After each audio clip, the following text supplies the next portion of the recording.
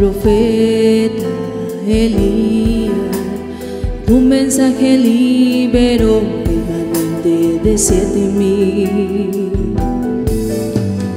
Es la quinta vez que Dios enviará al profeta Elías, serán liberados ciento cuarenta y cuatro mil.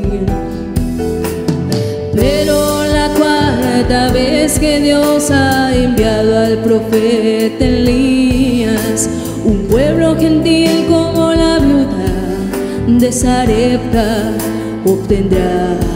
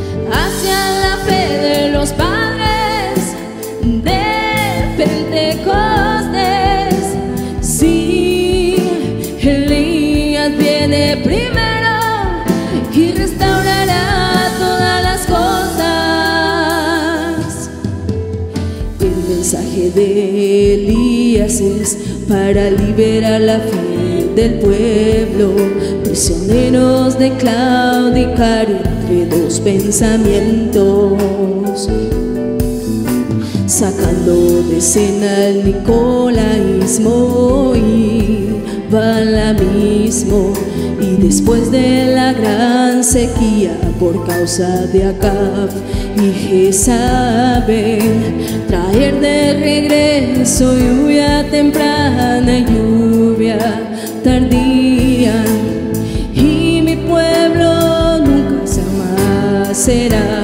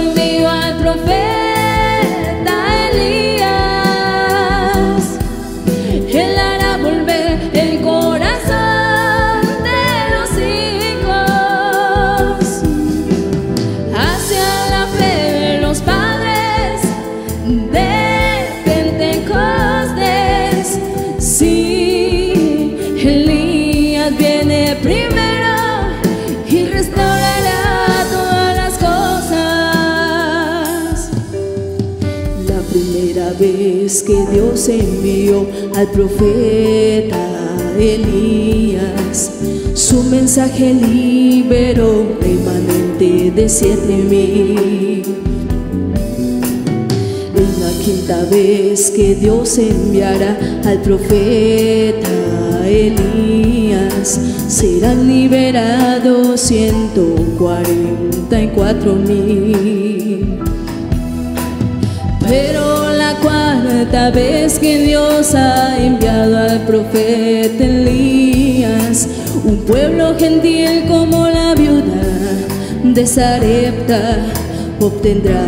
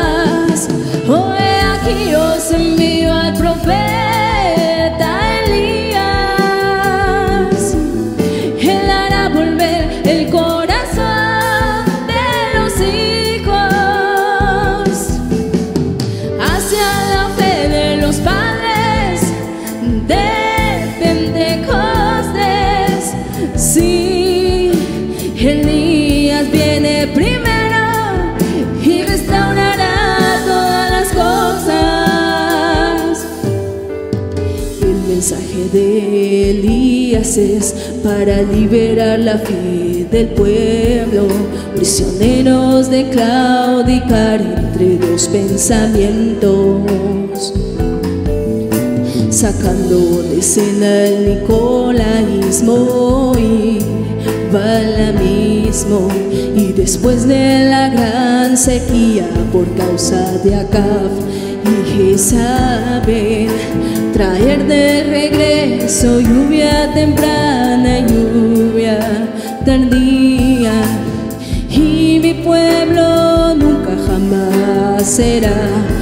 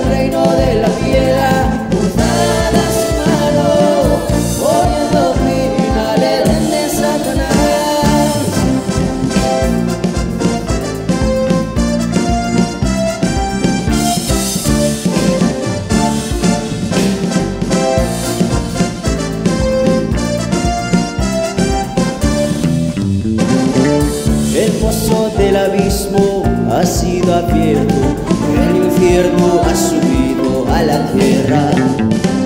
Después de la fiesta de las sombreras, el espíritu eclesiástico fue desatado. El pozo del abismo ha sido abierto, el infierno ha subido a la tierra. Después de la fiesta de las sombreras,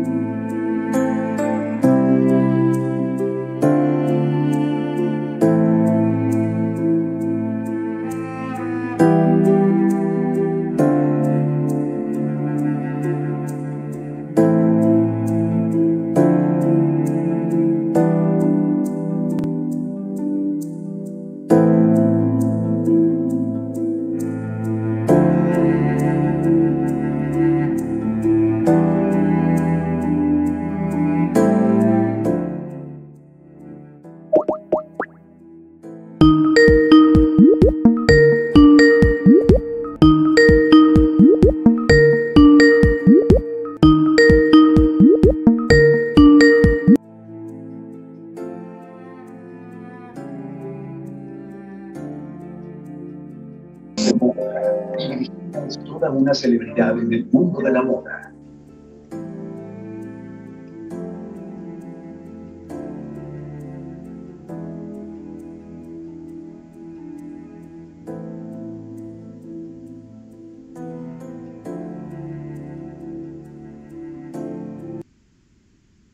Amén, hermanos y hermanas, el Señor Jesucristo nos bendiga. Vamos a dar inicio a un nuevo compañerismo. Esto es la lectura de los mensajes de nuestro profeta Elías.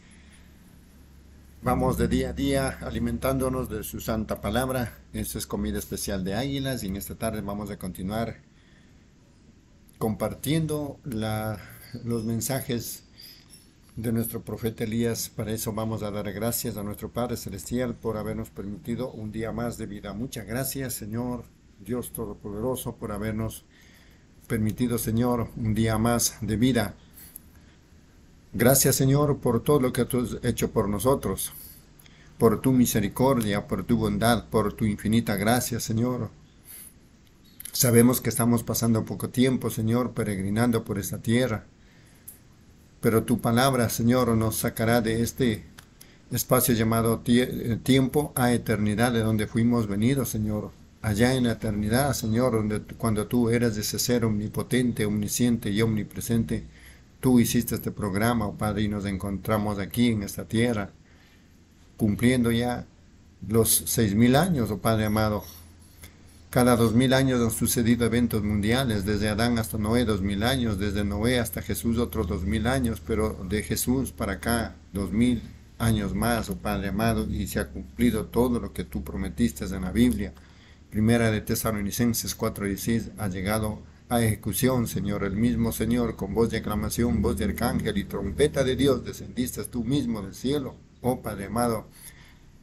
Pero tú no podías tampoco hacer nada sin revelar los secretos a los siervos, los profetas, Señor. Entonces tú enviaste un misterio glorioso a ser revelado por un profeta mensajero. Ese fue Apocalipsis 17, Señor. Y en esta tarde queremos continuar cumpliendo tu profecía, Señor, de Apocalipsis 10, 8 al 11, donde tenemos que comernos del libro, profetizar nuevamente para tribus, lenguas, naciones y reyes. Oh Padre, muchas gracias por ese privilegio. Los hermanos y hermanas que también estarán en la escena juntamente, te decimos gracias, Padre amado, por habernos permitido este alimento espiritual en este último tiempo. En el nombre del Señor Jesucristo iniciamos este glorioso compañerismo. Amén, mis amados hermanos y hermanas. Vamos a continuar con la lectura de este glorioso mensaje titulado Los ungidos de los últimos días. Mensaje predicado en Jeffersonville, Indiana, Estados Unidos, día 25 de julio del año 1965. Nos hemos quedado en los párrafos 174. Nos corresponde en esta tarde continuar compartiendo los mensajes. Párrafo 175 dice, Dios dijo, ve, tú tendrás éxito Tú harás que lo crean. Ellos desde el principio no han estado basados en la palabra. Ve, porque tú les convencerás. Tú serás quien lo harás cuando entres a esos falsos profetas, porque Él está confiando en ellos y no sabe nada de la palabra, ni tampoco se esfuerza por aprender. No le puede hacer porque Él ha sido una cizaña desde el principio. Tú prosperarás. 176. Fíjense aquí en estas ranas falsas mirando hacia atrás. ¿Sabe lo que dijeron allá en Nicea? A mí no me importa lo que dijeron allá en Nicea. Yo estoy diciendo lo que dijeron acá en el trono de Dios. Lo que sería, no lo que fue, sino lo que será, porque Él es, yo soy. Ven, falso, mírenlo y fíjense y de dónde es que viene. Escuchen bien, nosotros ahora vemos claramente, después de que los siete sellos han sido abiertos y fueron abiertos para revelarnos ese misterio. ¿Qué es esa Trinidad? Ven, ¿dónde fue llamada Trinidad? ¿En qué parte de la Biblia se encuentra la palabra Trinidad? ¿Cómo podrían haber tres dioses? ¿Cómo podríamos adorar a tres dioses y no ser paganos? ¿Cómo pueden ser distintos cuando Él dijo, yo y mi Padre uno somos? Antes si no creyerais que yo soy, en vuestros pecados moriréis. Ven vuestra incredulidad. La incredulidad es pecado. Parece pareceréis en vuestra incredulidad. Oh, ¿quién dices que soy? ¿De dónde dices que vine? ¿O conoces a mi padre? ¿O puedes decir su nombre? Yo soy la, ro la rosa de Sarón, la estrella resplandeciente de la mañana. ¿Pueden decirme quién es? Yo soy quien habló con Moisés en la zarza ardiendo con fuego. Yo soy el Dios de Abraham, la estrella resplandeciente de la mañana. Yo soy la rosa de Sarón. Oh, ¿de dónde dices que vine? Oh, ¿conoces a mi Padre? Oh, ¿puedes decir su nombre? Amén. Yo soy Alfa Omega, el principio y el fin. Yo soy la creación entera y Jesús es su nombre. Amén. Párrafo 178. Eso es cierto. No hay ninguna Trinidad. No, Señor, eso es una cosa falsa. Los siete sellos abrieron esos misterios que habían de ser consumados. Muestra, sella, abre, dispone y enseña claramente las verdades escondidas que los sellos habían ocultado todos estos años a través de todas esas iglesias y denominaciones la gran ramera de Apocalipsis 17. ¿Quién es? Es la madre de las fornicarias. Ven. 179 el párrafo. Usted pregunta, hermano Branham, ¿por qué les dice buitres? Es cierto, pero recuerden que un buitre es un ave. Él está ungido para volar también. Los dos espíritus serán tan semejantes que engañarán, si es posible, a los escogidos. Un buitre es tan grande como un águila. Él puede volar como un, como un aguda y está ungido para volar o predicar o profetizar, igual como el águila. Pero él lo puede seguir al águila en altura. No, no. Si él trata de seguir el águila, su insensatez será hecha manifiesta. Sí, Señor, Él no puede seguir a la águila. Usted puede decir, yo, yo creo que Jesucristo es el Hijo de Dios. Yo creo en Dios Padre Todopoderoso, Creador de los cielos y la tierra, y en Jesucristo su Hijo, y en todo lo demás. Oh, desde luego ellos pueden hacer eso. Pero ¿quede Él siendo el mismo ayer, hoy y por los siglos? Ven, para 180. El águila es un ave especialmente formada. No hay ave que la iguale en toda la tierra. Si un buitre o cualquier otra ave trata de seguirla, se reventaría e indudablemente su insensatez sería hecha manifiesta. Es igual como cuando se trata de poner el vino nuevo en un cuero viejo. Ven, se reventaría porque el cuerpo del buitre no está construido con esa estructura para mantenerse allá arriba. Cuando llegue a esas alturas se hará pedazos, si no es un águila predestinada, ordenada y en verdad nacida como águila. Las plumas se le caerán de sus alas y caerá en tierra, seguramente. Él no puede seguir al águila a la altura si él trata de hacerlo, su insensatez será hecha manifiesta. Ciertamente, no puede. 181. Porque él no puede ver como el águila. ¿Qué propósito hay en entrar a saltar muy alto y no poder ver cuando uno llega a esa altura? Y si él se atreve a personificar a esta águila en altura, él estaría tan ciego que no sabría a dónde habría llegado. Es cierto, él se pone a gritar y todo, pero solamente háblele la palabra y su insensatez será conocida. Háblele acerca del bautismo en el nombre de Jesucristo y del el, como el mismo ayer, hoy y por los siglos. Y así, oh, espérese un momento. Allí está. Sus plumas están cayendo. Él está saltando, profetizando, echando fuera demonios, hablando en lenguas, gritando y corriendo para arriba y para abajo. No vayas a tratar de seguir hacia arriba. Sin duda que serás dado a conocer. Sin embargo, Él es ordenado. Él está ungido. Él puede volar. Él puede balancearse y lograr altura, pero solo hasta cierto punto. Ven, Él puede comer carroña, pero Él no puede comer la carne fresca que viene del trono. Él está ciego, Él está todo inflado, pero no sabe por qué. Ven, ese mismo espíritu que cayó sobre él como la lluvia para hacerle un trigo, Él no es un trigo desde el principio. Por eso revienta. Oh, yo no puedo ir a dónde. Oh, no, señor. Yo conozco al hermano Jones. Oh, sí. Bien, pues siga adelante si quiere. 182. Fíjense, él no es nacido, ni formado, ni predestinado para ser ese tipo de ave. Puede ser un limón viviendo en un naranjo, pero nunca vino de la raíz. Es algo que ha sido agregado. Y cuando llegan a tal altura en sus denominaciones de modo que no pueden ver la vindicación de la palabra de Dios predestinada, entonces su insensatez es dada a conocer. Oh, todas esas cosas respecto a una luz sobre la cabeza. Y todo, oh, son necedad. Ven, será dada a conocer. 183 el párrafo. Él no está formado para ver tan lejos, solamente puede ver tan lejos como sus lentes denominacionales la dejan ver. Y con todo eso, él es más higo que un murciélago. Entonces es cuando su insensatez es dada a conocer. Allí es donde el águila verdadera se sienta a comer. Sí, Señor. Allí es donde las águilas verdaderamente escondidas ven lo que Él es. Si Él no puede tomar esa palabra, es allí donde ellos saben que es un buitre denominacional. ¿Por qué no puede él volar? Porque fíjense en qué se ha estado alimentando. Él se ha estado alimentando con carroña podrida, denominacional.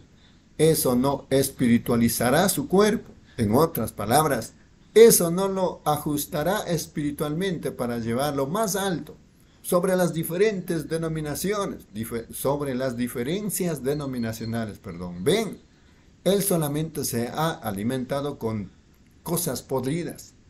De eso está hecho su cuerpo. Él no puede subir a donde sube el águila con la energía que le da la carne fresca. Simplemente no lo puede hacer. Ven. Párrafo 184 por último.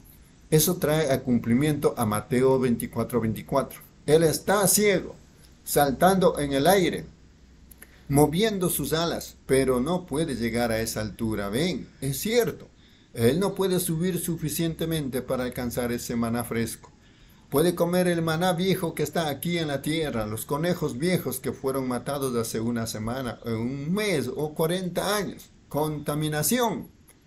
Él puede comer eso y gozarse con ello, gritar y chirriar y comenzar a volar como un águila porque él está ungido como otra ave. Y el buitre es una especie de águila. Nosotros sabemos eso. Y en verdad es. Pero no puede seguir al águila verdadera. Ven, él simplemente no le puede hacer. No, Señor. Su cuerpo no está formado. Él ha estado alimentándose con diferentes carroñas. No de carne fresca o de maná fresco. Será de algo que dijo Lutero, Wesley o el doctor fulano de tal no será de lo que dijo Jesús para esta hora. Amén. Gloria a Dios. Amén, mis amados hermanos y hermanas. Recordando una vez más, estamos compartiendo la lectura en esta tarde, este glorioso mensaje titulado Los ungidos de los últimos días, servicio realizado en Jeffersonville, Indiana, Estados Unidos, día 25 de julio del año 1965. Continuando con la lectura, hermana Reina, por favor, en los párrafos 185 al 194.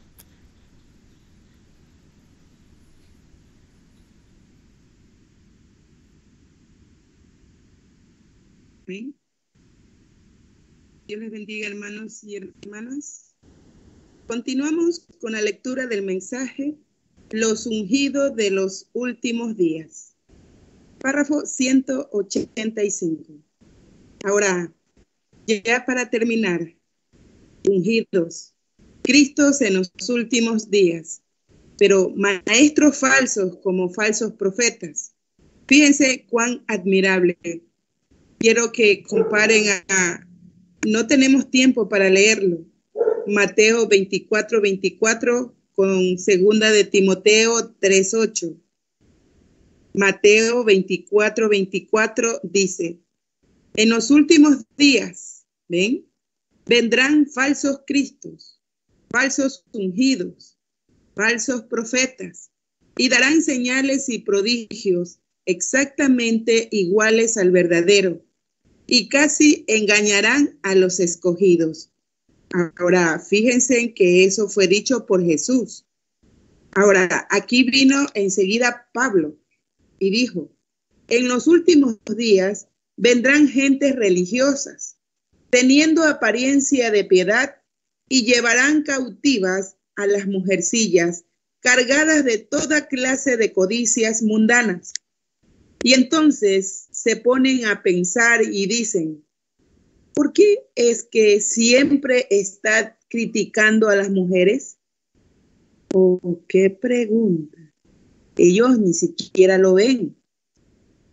Llevar cautivas a las mujercillas cargadas de diversas concupiscencias, lejos de las cosas así como de la Biblia y de la manera en que Janes y Jambres. Mateo 24, 24, falsos cristos, falsos ungidos, obrando señales y prodigios para engañar a los escogidos.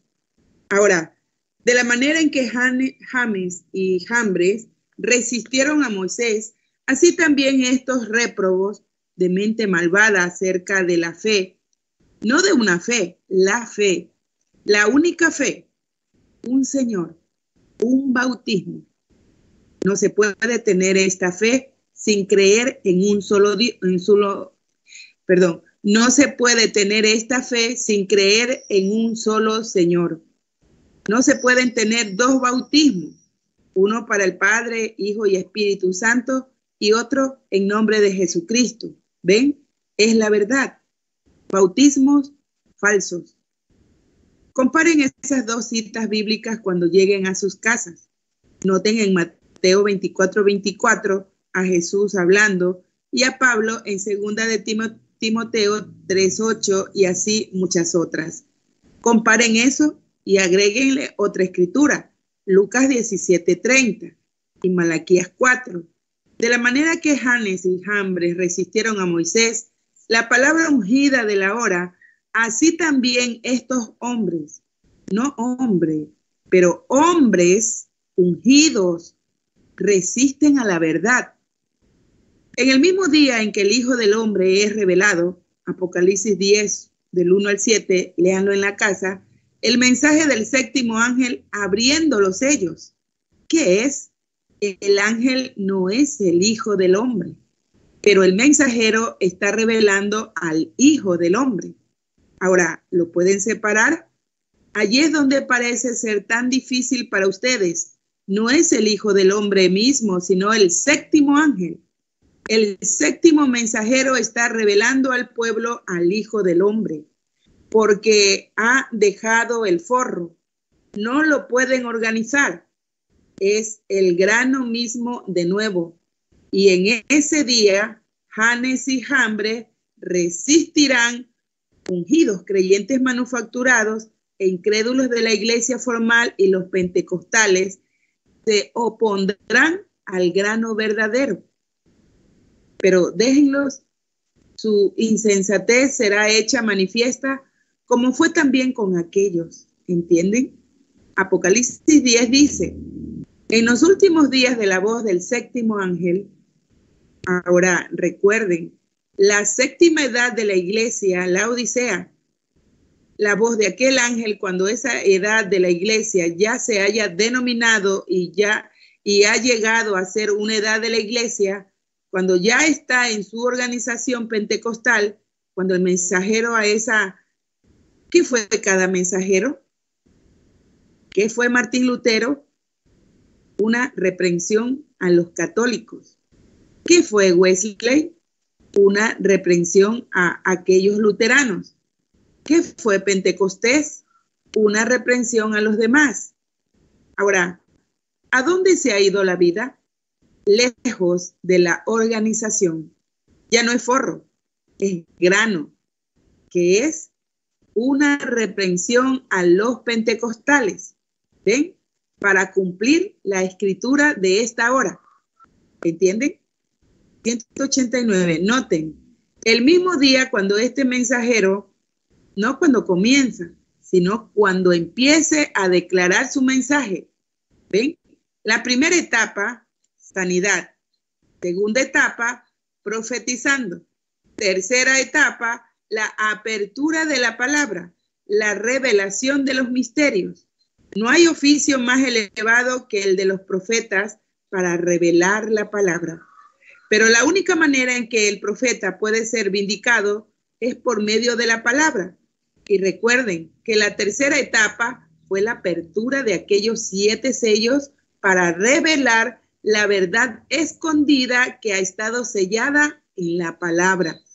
¿Lo ven? Es entonces, en ese día, cuando esta cosa está supuesta a suceder, que Janes y Jambres, los personificadores, aparecer, aparecerán otra vez, igual como lo hicieron cuando apareció Moisés con la palabra original, para hablarla. Ellos aparecieron para personificarla exactamente igual. Ahora, ¿puede ver lo que significa Mateo 24, 24?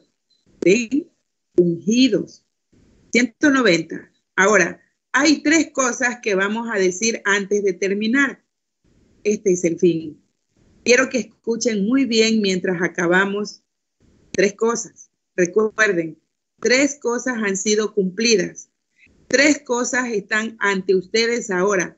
Primero, el mundo está en una condición semejante a Sodoma. Jesús dijo que así sucedería. Fíjense en la perversión. Nuestras mujeres procurando portarse como hombres y nuestros hombres procurando portarse como mujeres, afeminados, podridos, sucios, vulgares, endemoniados, y no lo saben. La Biblia dijo que eso sucedería y allí es donde está. En segundo lugar, es en aquella hora, según la escritura, que Janes y Jambres aparecerán. En tercer lugar, es en aquella misma hora en que el Hijo del Hombre ha de ser revelado. 191. Allí está el creyente, el creyente manufacturado y el incrédulo. Allí está la palabra genuina siendo vindicada. Allí está el creyente manufacturado personificándola. Y allí está el incrédulo rechazando la palabra completamente. Habrá luz en las últimas horas del día. La vía a la gloria seguramente hallarás. Es la verdad. Naciones se desmoronarán, desmoronarán, desmoronan. Perdón. Israel está despertando. Las señales que nuestra Biblia predijo, los días de los gentiles están numerados. Sodoma, de horrores cargados. Regresa, oh esparcido a lo tuyo. El día de la redención muy cerca está. Los corazones de los hombres se desmayan con este temor. Sed llenos de Espíritu de Dios. Ten sus lámparas limpias y brillantes para poder ver la palabra de la hora. Mira hacia arriba, tu redención cerca está. Profetas falsos están mintiendo. Dijo que estarían aquí ungidos. La verdad de Dios están negando. Que Jesús, el Cristo, es nuestro Dios. Ellos no lo creen. La Biblia dijo que sucedería. Aquí está. Pero andaremos en donde anduvieron los apóstoles. La misma luz. Restaurar la fe de los padres a los hijos el día de la redención cerca está, tan cerca. Los corazones de los hombres se desmayan de temor. La tierra se está hundiendo. Oh, sed lleno de Espíritu de Dios. Ten tu lámpara limpia y brillante. Mirad hacia arriba. Tu redención cerca está. ¿Creen eso? Entonces, inclinemos nuestros rostros. 192. Allá en las tierras a donde este mensaje va, de la costa oriental a la occidental, de California a Nueva York, allá hacia el sur y hacia el norte, allá en las misiones y a donde sea que vaya. Y aquí en este tabernáculo, nosotros somos pobres. Nosotros no tenemos estas cosas grandes y estas presentaciones en la televisión. Solamente estamos procurando hacer lo mejor posible, pero todo lo que el Padre me ha dado, vendrá. Quiero que sepan que esto es seguro. Y ustedes que oyen esta cinta, es posible que ustedes hayan pensado hoy que yo estaba procurando decir estas cosas de mí mismo, siendo que yo estoy trayendo este mensaje. Yo no tengo nada que ver con ello, solamente una voz, y mi voz, aún contrario a mi mejor modo de pensar, yo quería ser como uno que pone trampas para cazar animales de piel vendible, pero ha sido la voluntad de mi Padre lo que he declarado y determinado hacer. Yo no fui a aquel que apareció allá en el río. Yo solamente estaba allí presente cuando Él apareció. Yo no soy quien hace estas cosas y predice estas cosas que suceden tan perfectamente. Solamente soy uno que está cerca cuando Él lo hace. Yo solamente soy la voz que él usó para decirlo. No fue lo que yo supe, simplemente fue a lo que me rendí, a través del cual él habló. No soy yo, no, fue el séptimo ángel, no, no, fue una manifestación del Hijo del Hombre.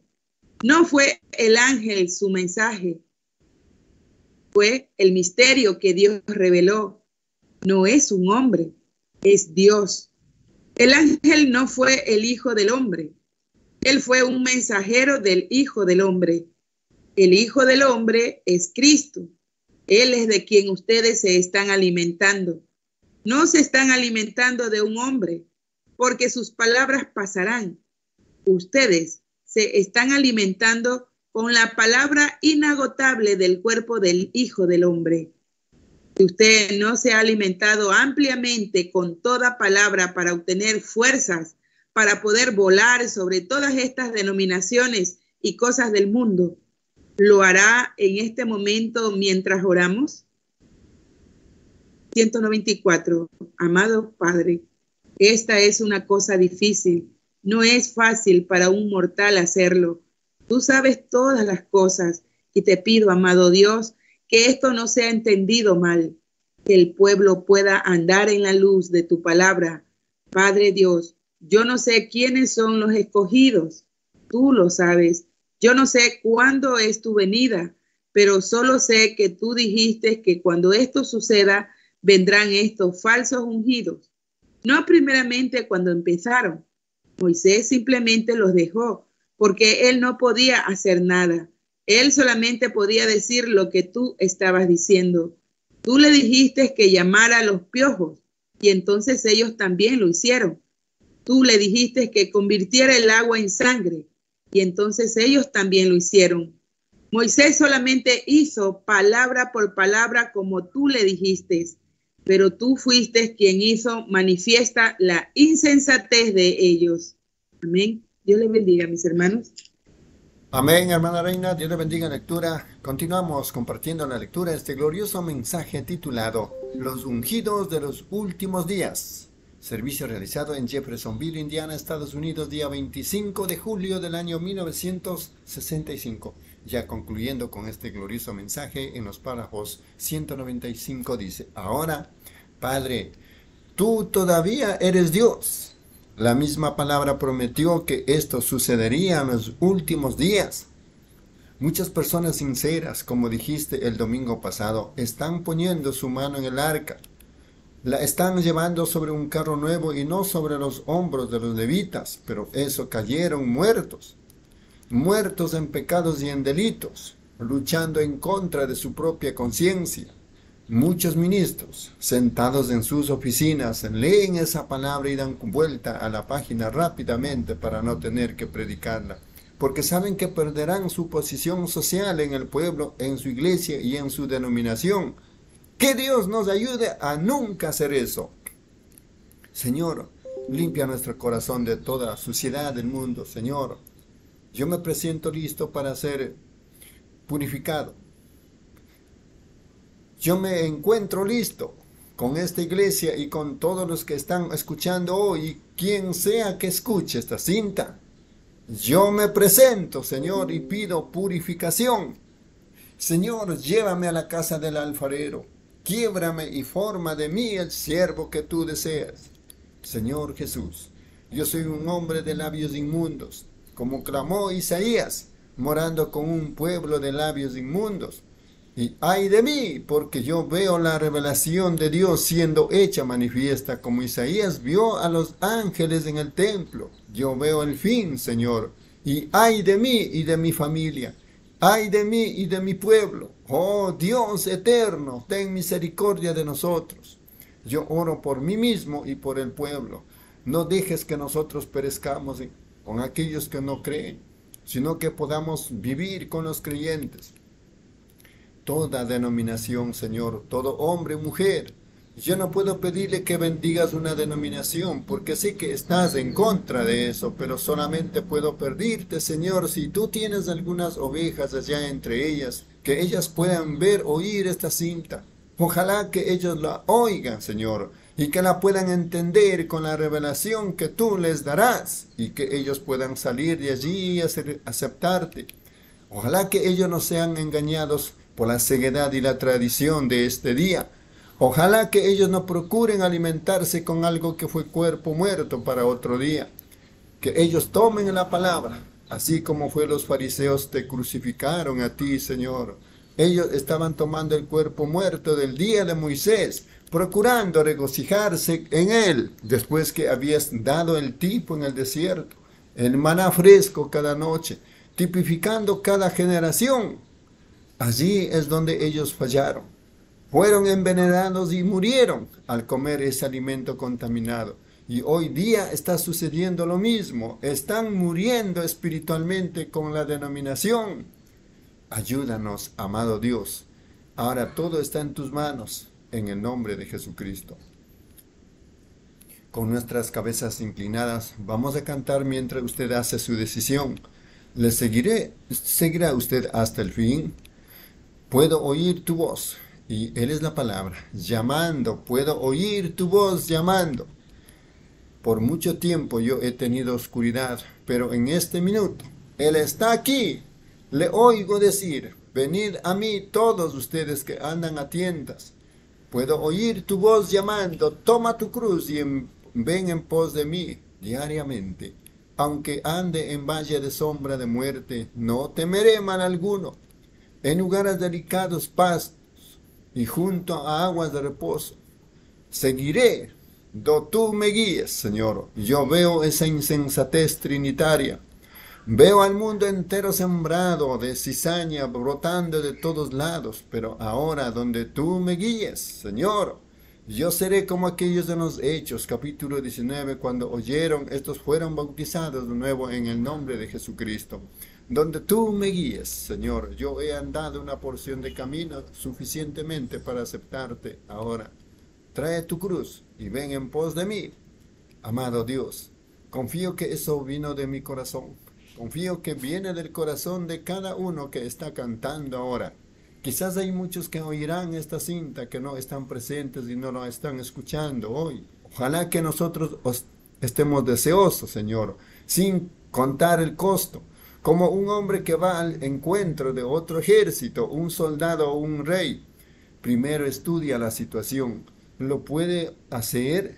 ¿Puedo dejar las cosas del mundo? ¿Puede usted renunciar?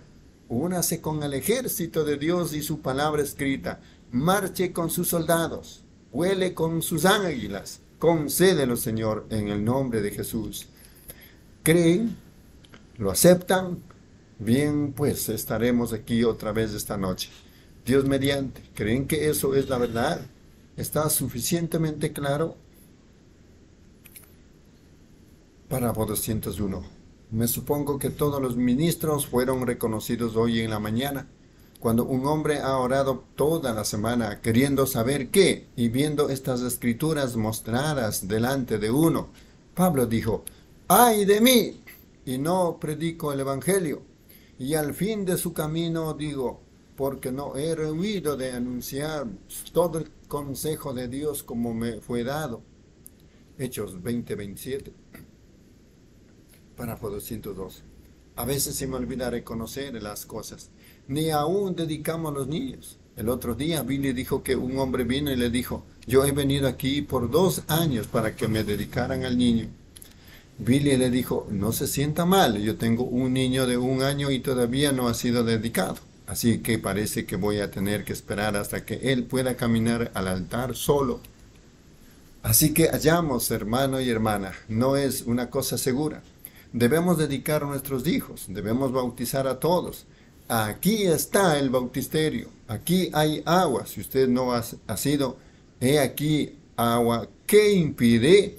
Vengan ahora, no esperen hasta la noche, vengan ahora. Hay hombres aquí que bautizarán a cualquiera que se ha arrepentido y ha hecho confesión. Si usted ha sido bautizado aún doce veces, ellos le bautizarán en el nombre de Jesucristo para el perdón de sus pecados. Ven, eso somos. Pero no ven, el mensaje está sobre mi corazón. Yo tengo que declararlo. Es mi único propósito, sin importar lo que diga mi esposa, mis hijos, mi pastor o lo que sea. Esto es mi Señor. Me, es preciso declararlo. Es mi único propósito. 204.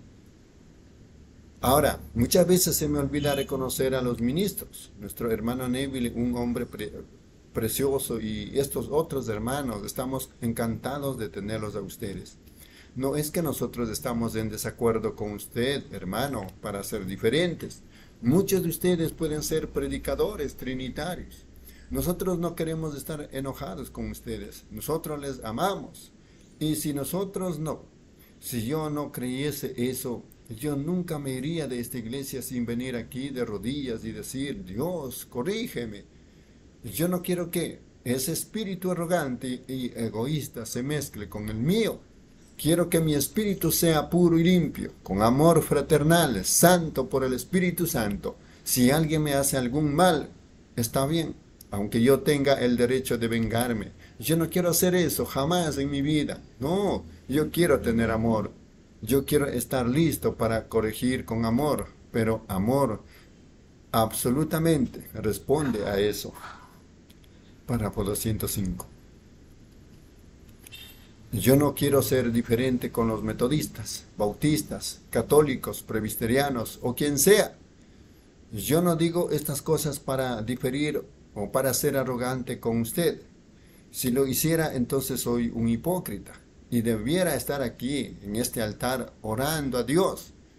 Pero si yo les digo que es por causa de, del amor que puedo ver a dónde van, yo no estoy diciéndoles esto de mí mismo, ni estoy presumiendo. Y no estoy diciéndoles esto a de mí mismo, ni estoy presumiendo. Porque esto es así, dice el Señor. Esa es la verdad. Y yo les amo por esas cosas. El Señor les bendiga. Queremos que ustedes estén aquí a la noche si pueden. Si no pueden estar, Dios sea con ustedes hasta que los veamos otra vez.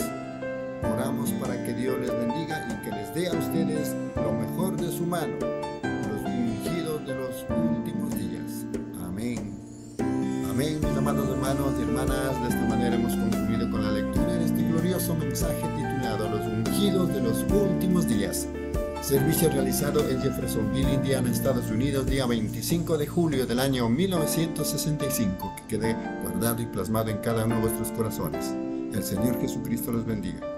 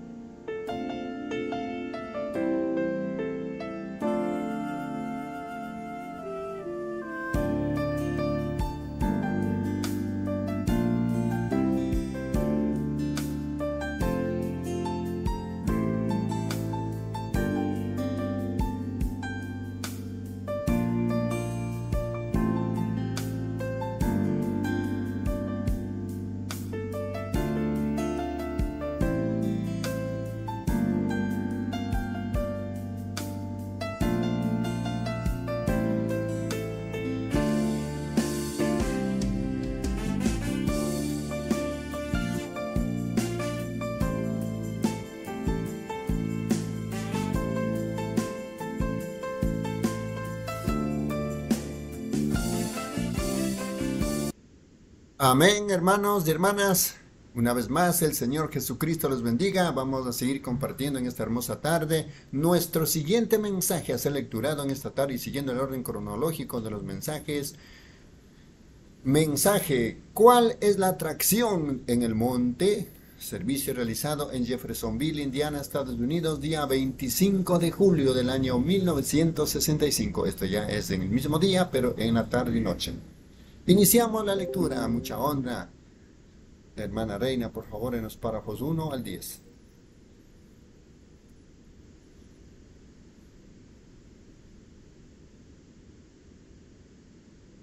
Amén. Dios le bendiga, mis hermanos. Iniciamos con la lectura del mensaje. ¿Cuál es la atracción en el monte? Párrafo 1. Ahora inclinemos nuestros rostros Dios Padre, esa es nuestra sincera oración en esta noche. Al ver todo lo que tú estás haciendo para el pueblo en este día, entonces te pedimos, Señor, que solamente podamos creer, creer que es la verdad, la palabra escrita siendo manifestada a nosotros. Concede estas cosas, Padre. Ahora, en esta noche, queremos agradecerte por la la luz que tú esparciste en las escrituras para nosotros esta mañana. Y rogamos en esta noche, Señor, en la línea de oración, que tú vindiques tu palabra ser la verdad. Nosotros oramos por todas las iglesias y las congregaciones que están reunidas alrededor de, de los pequeños micrófonos a través de la nación, desde la costa del oeste, subiendo a las montañas de Arizona bajando a las planicies de Texas hasta en la costa del este, a través de todo el del país, Señor, a donde se han reunido. En cuanto al tiempo, estamos separados por varias horas, pero Señor, estamos unidos en esta noche como una sola unidad, creyentes esperando la venida del Mesías. Y rogamos, Padre Celestial, que tú lo envíes pronto por tu iglesia, porque lo pedimos en su nombre. Amén. Pueden tomar asiento. Dos. Saludos cristianos para todos los que están aquí en esta noche. Siento mucho que aún estamos muy apretados y amontonados hasta que casi no podemos respirar. Aún los aparatos de aire acondicionado, a pesar de lo bien acondicionado que está, no tienen mucho efecto por tanta gente. Si fuera apenas una iglesia llena normalmente de gente, esos aparatos de aire acondicionado los congelarían. Pero ahora todos tienen su abanico abanicándose y los aparatos de aire acondicionado soplando tan fuerte como pueden. Enviamos saludos desde la costa del este hasta la del oeste a todos nuestros amigos en Cristo que nos están escuchando. Enviamos saludos allá a San José, al hermano Border, al grupo que está allá. Enviamos saludos allá a las montañas de Prescott, Arizona, al hermano Leo Mercer y a su grupo que está allá esperando la venida del Señor. Enviamos saludos a aquellos que están reunidos en Tucson en esta noche, esperando la venida del Señor, allá en Houston, Texas, para aquellos que están esperando la venida del Señor. Allá en Chicago, para aquellos que están esperando la venida del Señor. Allá en la costa del este, Nueva York y Connecticut. Y a los grandes grupos allá que están esperando la venida del Señor. No tenemos lugar para sentarlos aquí, así que tenemos que enviarles la palabra a través de, del medio telefónico.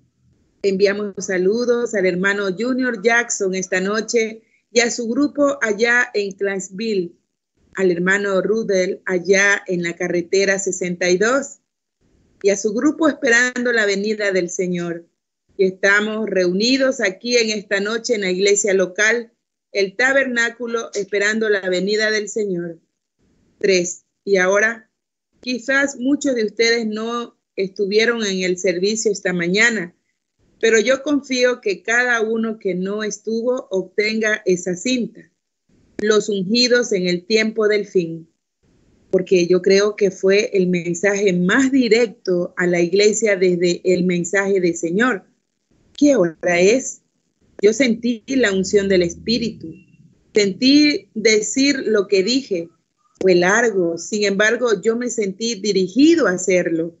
Y yo pienso que el Señor nos mostró por medio de su palabra en qué hora estamos viviendo y asegurarse que entendemos estas cosas misteriosas que están aconteciendo. Ustedes saben, la Biblia dice, los sabios entenderán, pero las naciones y el pueblo se irán haciendo más débil, pero más sabios. Piénsenlo. El americano promedio ahora está en su edad media como a los 20 años, más débil, pero más sabio. En aquellos días no tenían aviones de propulsión y los misiles atómicos, pero vinieron mucho más. Nosotros nos estamos haciendo más débiles y más sabios. Y nuestra propia sabiduría es lo que nos va a destruir. Nosotros nos destruiremos a nosotros mismos.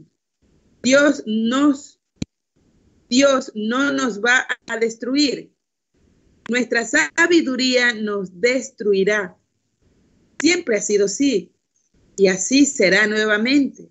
Ahora, Dios mediante, el domingo próximo por la mañana, no sabiendo ahora de qué hablaré, pero confío que el Señor, si Él nos permite vivir y nada sucede y fuera su voluntad, queremos traer otro mensaje el próximo domingo por la mañana y tener oración por los enfermos el próximo domingo por la noche.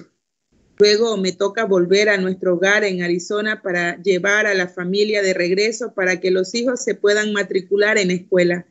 Entonces ustedes estarán. Nosotros les notificaremos a medida que podamos de las reuniones, a medida que se vaya planeando a los tiempos, cuando estaremos, los lugares a donde esperamos estar.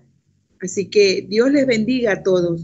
Ahora en esta noche, sabiendo que es para comenzar, ya estoy 15 minutos retrasado. Faltan 15 para las 8 aquí en Jeffersonville y eso es como cuarto para las 9 en la costa del este y luego son como las 5 de la tarde en la costa del oeste. Así que ahora casi estamos aquí en la puesta del sol. Y yo deseo hablarles solamente por un servicio corto para tratar de hallar la unción del Espíritu y luego llamar la línea de oración. Cinco, y yo deseo que la congregación aquí, así como también las congregaciones que están reunidas en los otros lugares, encuentren a un hombre, algún hermano que esté ungido con el Espíritu. Y cuando comencemos a orar por los enfermos, que vaya y ponga sus manos sobre aquellos que están en su congregación. Y recuerden, Dios es omnipresente. Él está en todas partes. Así que allá en Texas, allá en California, allá en Arizona, donde sea que esté usted, imponga sus manos sobre aquellos que están enfermos cuando comencemos a orar por los enfermos. Y estoy seguro que Dios escuchará y contestará a la oración. Una cosa rara. El domingo pasado por la noche y la unción estaba aquí, el Espíritu Santo. Fue algo muy tremendo. Yo no había tenido una, una línea de discernimiento por meses y meses, desde que estuve aquí la otra vez y luego llegar allí bajo una promesa. Uno no sabe que ello hará. Uno no puede decir que él lo hará. Uno tiene que llegar a ese punto y esperar. Él es soberano. Él hace lo que él desea hacer, pero uno se queda allí esperando para ver lo que él hará para ver lo que Él hará. Luego uno siente que eso se abre sobre uno de esa manera. Y luego al final de la reunión, no sabiendo ni quién era, pero había habido un hombre en alguna parte en la línea que era alto y era calvo en la parte superior. Y él era una persona muy enferma. Y luego al final había un hombre que apareció aquí en la plataforma y él tenía su rostro inclinado y parecía que estaba sufriendo, agarrándose el estómago. Y yo pensé que ese debía ser ese primer hombre o segundo hombre, o cuando haya sido que yo oré por él, porque él era calvo y tenía su rostro inclinado, un hombre grande, agachado. Pero yo miré alrededor y vi al caballero sentado allá, pero él se estaba regocijando. Yo pensé, ¿a dónde está? Yo no podía decidir a dónde estaba. Yo lo podía sentir y podía ver al hombre delante de mí. Yo sentí que me jalaba así hacia acá y venía de atrás. Yo miré al hermano Neville y a estos dos sentados aquí. No eran ellos. Yo dije, el hombre está sentado adentro del bautisterio aquí atrás. ¿Saben ustedes quién era? El hermano Sheffer. La razón por la cual yo no podía reconocerlo es que estaba sentado allá atrás con su cabeza inclinada, orando. Él pensaba que iba a morir. Había pensado eso durante las últimas semanas.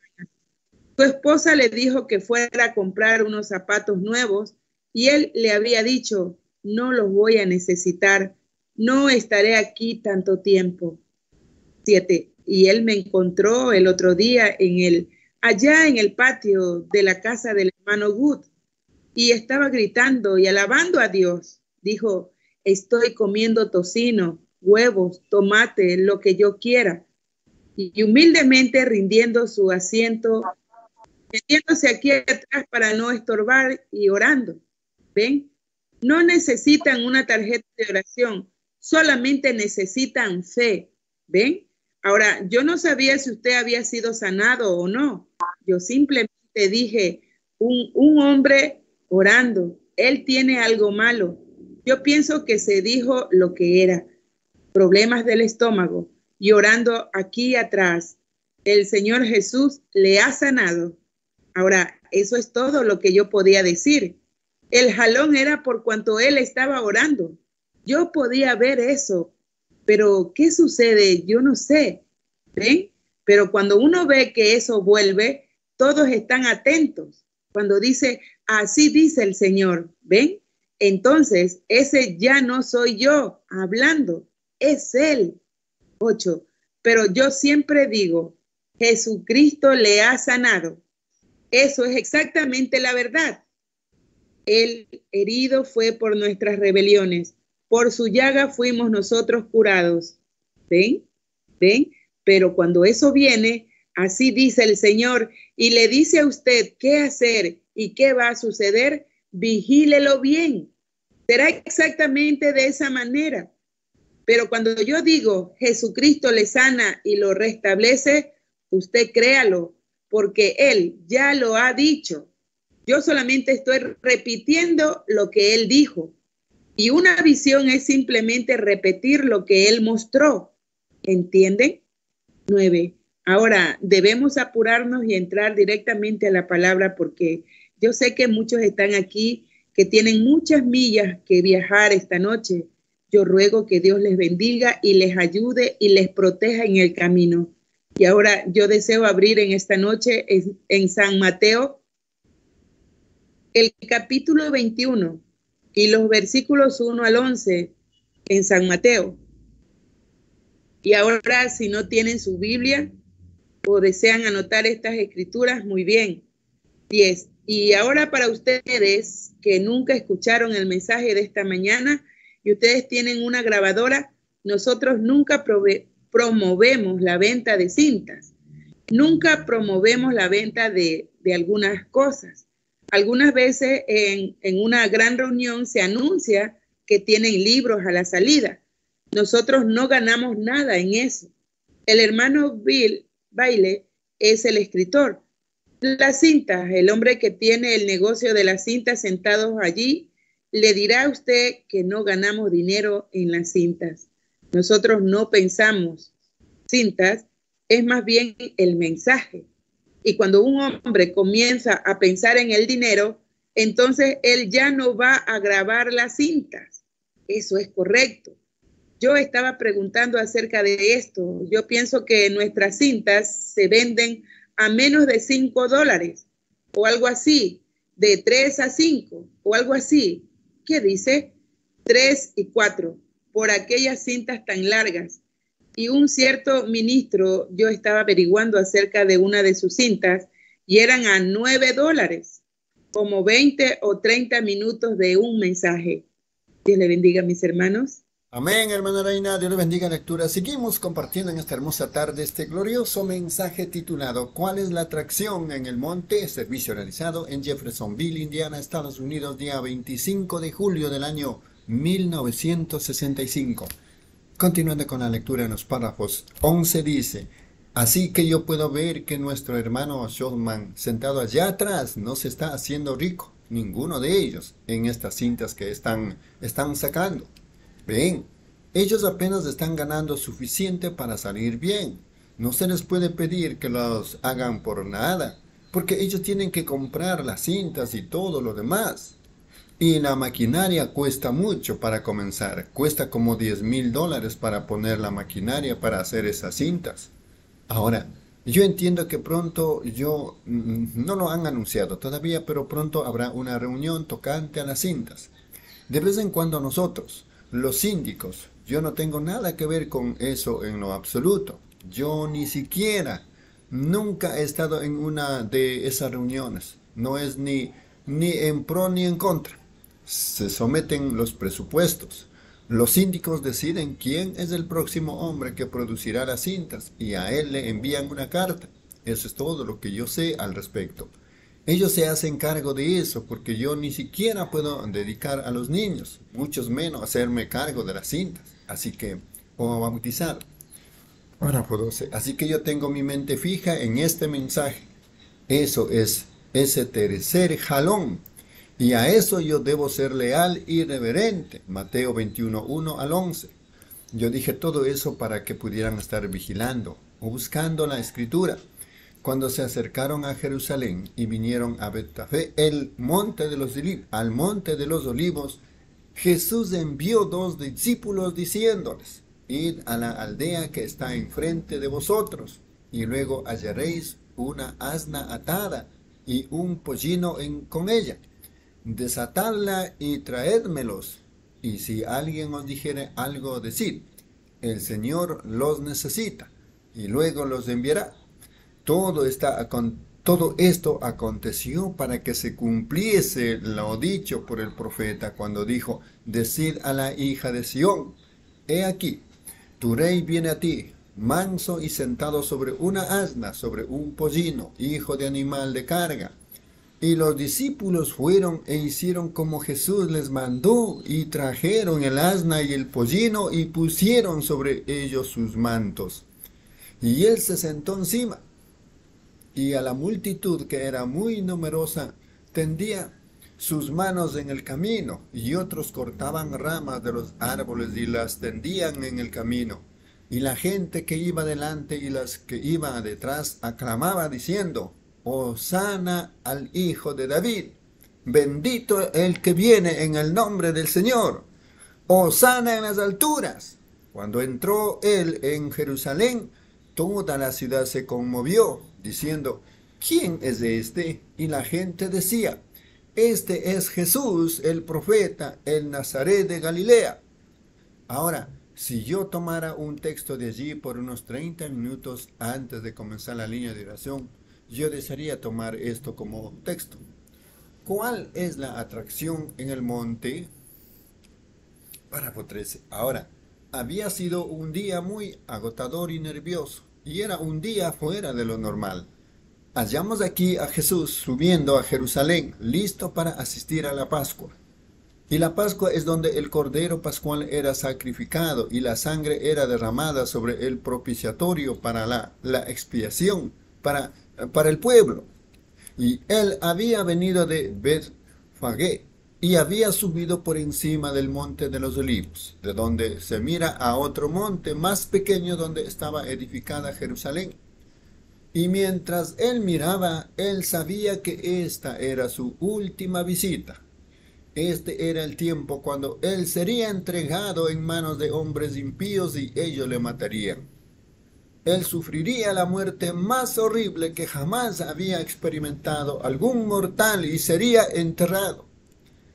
Él sería traicionado por uno de los suyos, algunos que estaban parados allí mismo con él. Y él, siendo Dios, sabía qué estaba en sus corazones y sabía desde el principio quién le traicionaría. Y sabía que ese hombre estaba con él, quien se había sentado a su lado y le había contado el dinero, etc. Sabía que ese hombre le habría de traicionar. Y sabía que una cruel cruz romana le esperaba allí. Él sabía que el agua en su cuerpo y la sangre en su cuerpo se, se separarían y que la sangre le saldría por la frente como grandes gotas de sudor. Él sabía que todo eso estaba delante de él y él estaba parado allí sobre el monte mirando hacia Jerusalén. Párrafo 14. Y la gente de ese día, los que en aquel día llamaban una gente de mejor clase religiosa, lo odiaban. Las iglesias de aquel día lo odiaban y lo denunciaron y denunciaron a todos aquellos que le escuchaban. Y si salían y asistían a sus campañas, inmediatamente eran excomulgados del compañerismo de la iglesia. Con razón la escritura dice, Él vino a los suyos y los suyos no le recibieron. Los que le debieron haber, haber amado, los que debieran haber estado a su favor eran sus enemigos más terribles. Y él había formado su pequeño grupo de un grupo de gente pobre, pescadores, los que recogían los impuestos, los ignorantes. La Biblia dice que algunos de ellos aún eran ignorantes y sin letras. Algunos ni siquiera podían firmar su nombre. Él nunca fue a las iglesias a tratar a su gente, a traer a su gente, perdón y él nunca estuvo de acuerdo con ninguno de los líderes de las iglesias. Y aparte de eso, él siguió la tendencia de un profeta. Él condenó todo lo que ellos hacían, así como habían hecho todos los que habían venido antes de él, por cuanto ellos eran una porción de la palabra y él era la palabra en su plenitud. Pero en medio de todo eso, a través de cada edad y cada profeta que había habido en o que habría habrá cierta cantidad de gente predestinada para escuchar ese mensaje y ellos lo seguirán. Ellos ignoran a las multitudes, ellos ignoran la crítica del incrédulo, ellos, ellos no discuten con estos, ellos tienen una cosa que hacer, eso es creer y obtener todo lo que pueden, empaparse así como María quien estaba a los pies de Jesús. Y Marta estaba preparando la cena para él. Y Jesús le dijo a ella, pero Marta, tú estás tan preocupada por las cosas de la vida, pero María ha buscado las cosas mejores. Ven, las cosas de vida eterna. Párrafo 17. Ahora, hallamos que mucha de la gente que había entendido ellos no tenían literatura como tenemos hoy en día. Ellos no tenían televisión ni teléfonos ni nada de eso en aquel día, pero como que se había corrido la voz por allí que él iba a estar en la Pascua. Porque mucha de la gente, siendo gente de mente espiritual, sabía que él era el Cordero de la Pascua, por cuanto él ya les había dicho a ellos las cosas que iban a acontecer. Y desde luego, sabiendo que él iba a estar allí, y le amaban a tal grado, ellos le estaban esperando. Había una gran multitud que probablemente estaba empujando, presionando de una puerta a la otra, vigilando por todos lados, porque ellos sabían que en una de esas horas Él aparecería. Ellos estaban vigilando, otros estaban preguntando qué era lo que acontecía con esta gente, corriendo de puerta a puerta. ¿Cuál es la atracción? Y ellos miraban hacia acá y miraban hacia allá para darse cuenta. Parecía que estaban esperando algo, estaban bajo expectativa de algo que iba a acontecer. Oh, ¿cómo desearía yo cambiar mi texto por unos momentos y decir esto? Eso es lo que pasa hoy en día. El pueblo que está esperando su venida está bajo gran anticipación y expectativa. Nosotros podemos sentirlo, la presión, y ellos están buscando, vigilando cada movimiento y cada señal, comparándola con las escrituras. Párrafo 19. Y cuando ellos vieron todas esas cosas que habían sido predichas de él hasta el fin, ellos sabían que el fin estaba cerca. Ellos deseaban estar allí, así que vigilaron, Una parte de la multitud estaba a su favor, la minoría. Algunos estaban en contra de él, la mayor parte de ellos. El 90% estaba en contra de él. Y más o menos así es hoy en día en las multitudes religiosas. Cuando realmente se trata de la palabra y Cristo, hay como el 1% que lo creería. La otra parte no le, podría, no le pondría nada de atención. No importa qué se hiciera, ellos harían la cosa, la clase de chiste o habrían mal de ello. Es casi lo mismo. Las cosas no cambian mucho. La historia se repite nuevamente. Párrafo 20 por último. Bien, vemos que eso, eso produjo una tensión nerviosa. Lo tenía que hacer, debía hacerlo. Ellos estaban esperando, ellos estaban pensando qué haría él cuando llegara allí. Ellos querían estar allí para obtener cualquier cosa que él hiciera. Ellos lo deseaban, ellos deseaban verlo, ellos le creían a él. Otros habían escuchado que él venía y habían venido para mofarse de él. Así que después de toda la expectativa nerviosa, un día muy fuera de lo común, un tiempo fuera de lo común, las iglesias dormidas, los nervios de la gente estaban muy tensos, había tanta gente allí, y luego sucedió. Amén. Amén, mis amados hermanos y hermanas.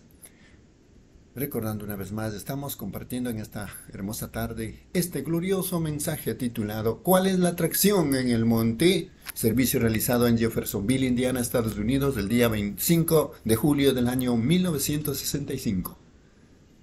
Continuando con la lectura, hermana Reina, en los párrafos 21 al 30. Amén. Dios le bendiga, mis hermanos. Continuamos con la lectura del mensaje. ¿Cuál es la atracción en el monte? Párrafo 21. Sobre el monte de los olivos venía un pequeño asno blanco bajando el cerro con un grupo de gente gritando fanáticamente, bajando las hojas de palma de los árboles tirando su ropa en el camino, gritando, Osana al Hijo de David, que viene en el nombre del Señor. Él, esta pequeña mula, tu jinete no era otro sino el Mesías, ungido de Dios para la hora. Entonces Dios, ¿qué estaba haciendo él? ¿Cuál es la atracción allá sobre el cerro? Es Dios haciendo historia y Dios cumpliendo profecía. Y eso siempre causa una atracción. Eso atrae a todos los críticos, los buitres del mensaje de esta mañana y también a las águilas. ¿Ven? Ellos se reúnen para averiguar qué está sucediendo. Algunos vienen por curiosidad, algunos vienen para descubrir fallas, otros vienen para criticar. Se reúnen de todas maneras, como dijimos hoy en la mañana, creyentes, creyentes manufacturados e incrédulos. ¿Qué es eso sobre el monte? Profecía se está cumpliendo. Ahora veremos lo que va a ocurrir. 22. Ahora, en el libro de Zacarías, en el capítulo 9 y el versículo 9, Zacarías, uno de los profetas, habló en el Espíritu, diciendo esto, alégrate mucho, hija de Sión, da voces de júbilo, hija de Jerusalén. He aquí, tu rey vendrá a ti, justo y salvador, humilde y cabalgando sobre un asno, sobre un pollino hijo de asna. Ahora, ¿qué les pasaba a aquellos escribas? ¿Qué les pasaba a aquellos sacerdotes? ¿Qué le pasaba a aquella gente religiosa? Esto fue escrito 487 años antes de que ocurriera por un profeta vindicado y ya estaba en forma escrita y llamada la Biblia los pergaminos del Antiguo Testamento. ¿Por qué no podían ver ellos que eso era profecía siendo cumplida? Por la misma razón que no lo pueden ver hoy en día. Ellos habían tomado la palabra de Dios y la habían hecho nula a la gente al enseñarles por tradiciones, por doctrina, las tradiciones de los hombres. Y si escribas, predicadores, ministros, hombres espirituales, así llamados, ungidos, solamente leyeran la Biblia, ellos no estarían preguntándose qué está ocurriendo. Ellos sabrían lo que es. Dios cumpliendo su palabra. Se estaba haciendo historia. Profecía se estaba cumpliendo. La salvación del mundo estaba llegando. El gran día que todos los profetas habían esperado. Todos los que estaban en la tumba estaban esperando ese día. Piénsenlo. Todos los que habían muerto, toda la sangre justa de los mártires y los profetas. Él acababa de haber exclamado, Jerusalén, oh Jerusalén, tú que has apedreado a todos los profetas que yo te he enviado y has matado a los justos. ¿Cuántas veces yo te hubiera cuidado como una gallina cuida de sus polluelos, pero no quisiste? Pero ahora tu hora ha llegado. 24. Todos los que estaban en la tumba, Abraham, Isaac, Jacob, todos los profetas estaban esperando esa hora y la iglesia estaba ciega a eso. ¿Quién está causando todo este alboroto? ¿Quién es ese tipo que dijo una vez, ¿no es aquel el hijo del carpintero? Nosotros le conocemos. ¿De dónde obtuvo él tal sabiduría? Pues no vemos que él esté afiliado con ninguna de nuestras escuelas. No sabemos que él haya aprendido de ningún libro. ¿Quién es? Él era la respuesta de la profecía del profeta. Y aquí él venía, cabalgando sobre el pollino de una asna. ¡Qué tremenda atracción! Dios estaba cumpliendo su palabra prometida, la hora que se había estado esperando por cuatro mil años. En Génesis, en el capítulo 3 y versículo 15, Dios había hecho la predicción la simiente de la mujer herirá la cabeza de la serpiente, mas su cabeza herirá su calcañar. Esa profecía a través de la Biblia que había sido predicha de la venida de este hombre. Y aquí recientemente hubo un profeta quien se paró entre ellos, que fue vindicado como profeta, Zacarías. Y él dijo que, hijas de Jerusalén e hijas de Sión, alégrense, den voces de júbilo, griten, porque su rey viene a ustedes, justo y salvador, humilde, cabalgando sobre el pollino, hijo de asna. Y aquí la gente que leía esa escritura de día en día, lo observaron a él que venía cabalgando y clamaron, ¿quién es este? ¿Ven?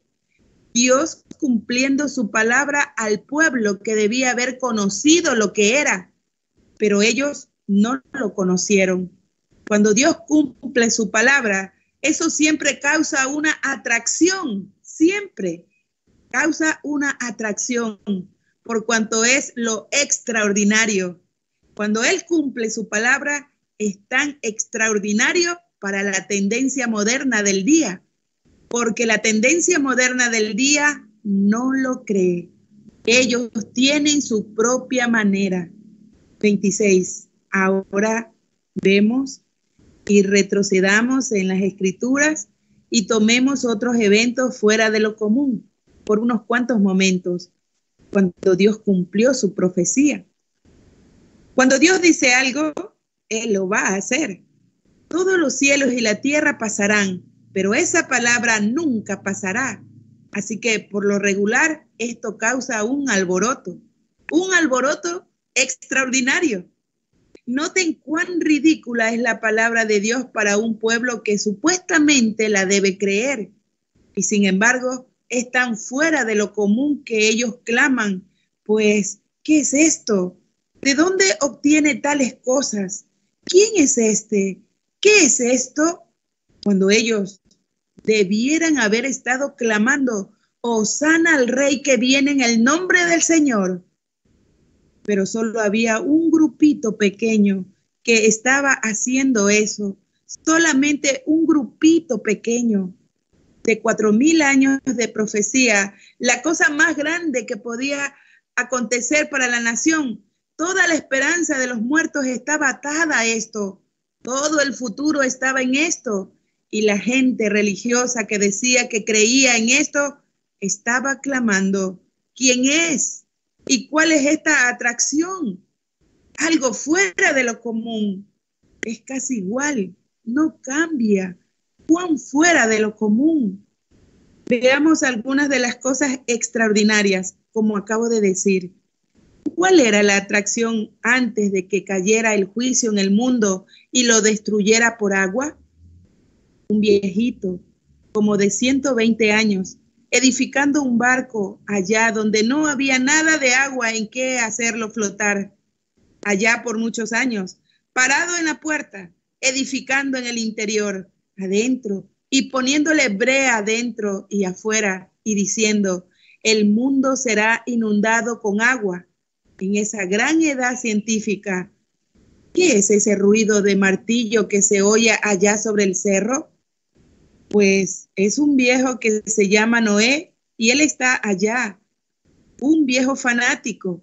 Es que el viejito estuvo mucho tiempo en el sol, le dio insolación. Él está fuera de sí y él está construyendo lo que él llama un arca y está diciendo que va a bajar agua de allá arriba en donde no hay agua y que va a salvar a toda la gente y todo el que no escuche su mensaje y todo el que no entre en el arca se ahogará. ¿Habías oído alguna vez tal cosa? Esa era una atracción fuera de lo normal. 28. Yo me imagino que cuando la gente deseaba darse una buena carcajada, iba allá y se paraba frente a la puerta del arca y se reían. Pues hace 100 años tú dijiste que iba a llover. Mi abuelo me dijo que él te escuchó acá diciendo que iba a llover y todavía estás aquí martillando en este viejo pedazo de madera. ¿Por qué no vuelves en ti? Pero era Dios alistándose para confirmar una promesa y cumplir una profecía que su profeta había hecho. Muy fuera de lo común. Dios cumpliendo su promesa a Noé, mientras otros estaban riendo. Dios también se estaba listando para hacer historia, para mostrar a otros que aún hasta este día que Él cumple su palabra. No importa cuán irreal parezca, ni cuán irrazonable, Él aún cumple su palabra. Él estaba haciendo de aquello un ejemplo, de aquel anciano martillando en aquel arca, para esta gente aquí en América en esta noche y por todo el mundo. No importa lo que dice la ciencia, lo que ellos digan, esto, aquello, lo otro. Él todavía cumple su palabra. Él estaba haciendo historia. 29. ¿Cuál era la atracción un día? Una cosa fuera de lo común sucedió allá en el desierto y era una zarza que estaba ardiendo y un profeta errante estaba parado allá en el desierto. Él no escuchó ninguna voz, él no escuchó ningún sonido, pero él miró y vio una cosa extraordinaria allá arriba de un monte. Dios estaba tratando de atraer su atención. Es lo mismo hoy. Dios se estaba alistando para cumplir su palabra por medio de su profeta Abraham. Tu simiente habitará por cuatrocientos años en una tierra extraña mas yo lo sacaré con mano poderosa. Y él estaba preparando a un hombre para ese trabajo, así como estaba preparando un arca como un lugar seguro para todos aquellos quienes creerían. Dios encendió esta zarza y este pastor de ovejas, Moisés, dijo, iré yo ahora y veré lo que significa esta cosa tan rara Y cuando él tuvo a Moisés frente a la zarza, él le habló. 30. ¿Cuál era la atracción más tarde en el palacio de Pilato cuando este pastor de ovejas tiró su vara al suelo y se convirtió en una serpiente? Era Dios cumpliendo su promesa a Moisés. ¿Cuál era la atracción en el mar muerto cuando los caballos de Faraón se asustaron? Cuando ellos vieron un viento descender de los cielos que partía al mar rojo a diestra y siniestra y una pobre multitud de esclavos caminando en el deber de Dios cruzaron por allí en tierra seca? ¿Qué era eso? Dios cumpliendo su palabra. La mortandad se apartó, un pueblo vivo cruzó y un pueblo espiritualmente muerto trató de personificarlo y se ahogó. Dios cumpliendo profecía y haciendo historia. Esa era la atracción en el mar muerto. Amén. Dios le bendiga, mis hermanos. Amén, mi hermana Reina, Dios le bendiga. Continuamos compartiendo en esta hermosa tarde este glorioso mensaje titulado ¿Cuál es la atracción en el monte? Servicio realizado en Jeffersonville, Indiana, Estados Unidos, día 25 de junio del año 1965. Continuando con la lectura. Párrafo 31 dice, ¿cuál era la atracción el segundo día después de eso en el monte Sinaí, cuando a todo el pueblo se le mandó que no se llegaran a sus esposas, cuando se les pidió que lavaran su ropa y que se santificaran y que se reunieran alrededor de la montaña en donde un hombre de nombre Moisés había dicho que se encontró con Dios en una columna de fuego? Y Dios la había dicho a Moisés, yo bajaré entre el pueblo yo voy a confirmar aquello que te dije. ¿Y quién soy yo? Yo les voy a mostrar a ellos que yo soy ese Dios. Esa fue la atracción. Dios cumpliendo su palabra. 32. ¿Cuál era la atracción un día en la historia cuando una nación se había olvidado de Dios, cuando el pueblo había llegado a ser formal e indiferente, cuando todos los sacerdotes se habían ido con la tendencia moderna. Los profetas profetizaban según la voluntad de los sacerdotes. Y en ese día, como siempre, tenían un hombre que ellos pensaban que era un fanático. Él hablaba de las mujeres que se pintaban y todo, y él era un tipo muy raro. Y este anciano había bajado y le había dicho al rey, ni siquiera habrá rocío no vendrá hasta que yo la llame. Y entonces hallamos que él se había escondido y había huido de esto, y se había escondido en alguna parte en el desierto.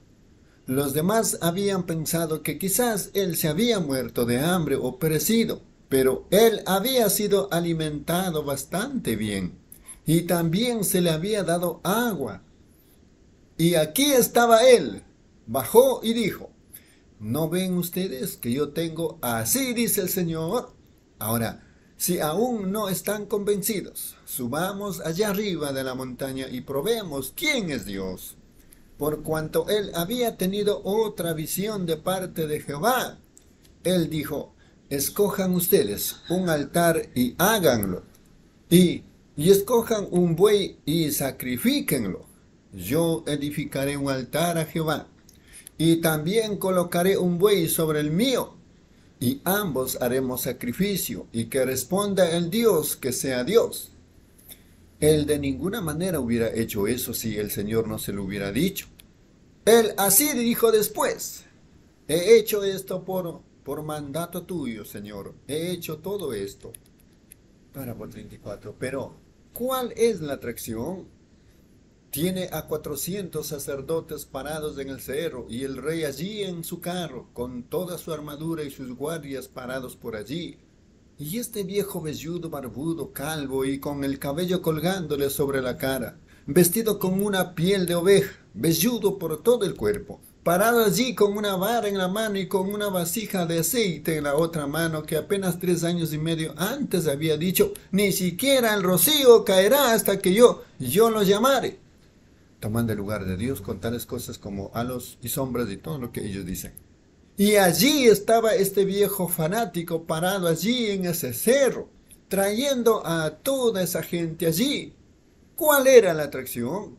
Era Dios a punto de vindicar que su profeta estaba correcto. Era Dios cumpliendo profecía. Dios también haciendo historia, cumpliendo la palabra. Amén. 35.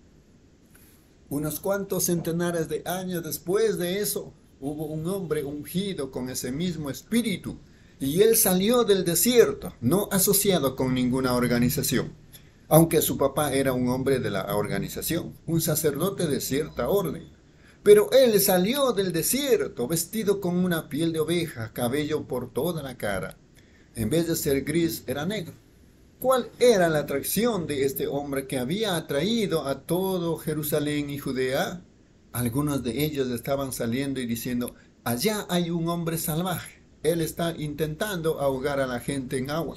¿Quién ha oído de una cosa como esa?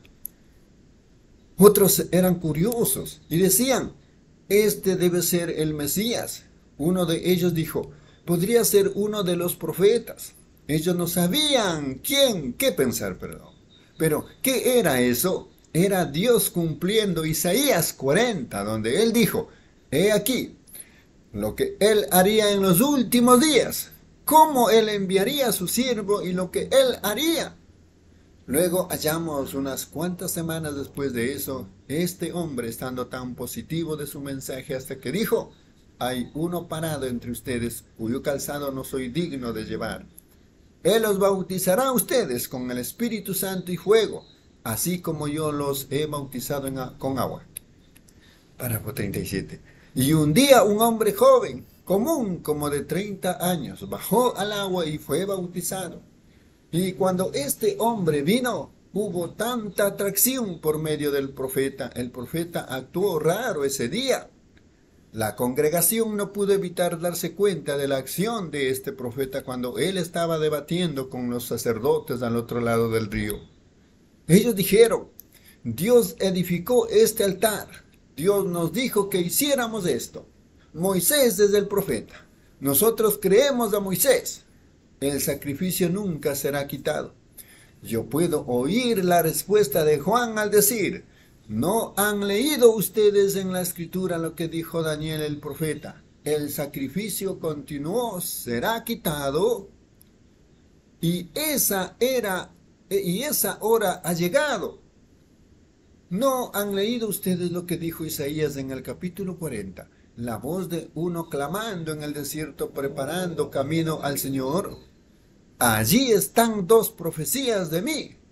Y otra cosa, ¿No reconocieron ustedes a nuestro profeta de hace 400 años, Malaquías, cuando él habló en el capítulo 3 y dijo, He aquí yo envío mi mensajero delante de mi faz para preparar el camino? ¿No saben ustedes que esto da cumplimiento a la profecía? Profecía se está cumpliendo. Párrafo 38.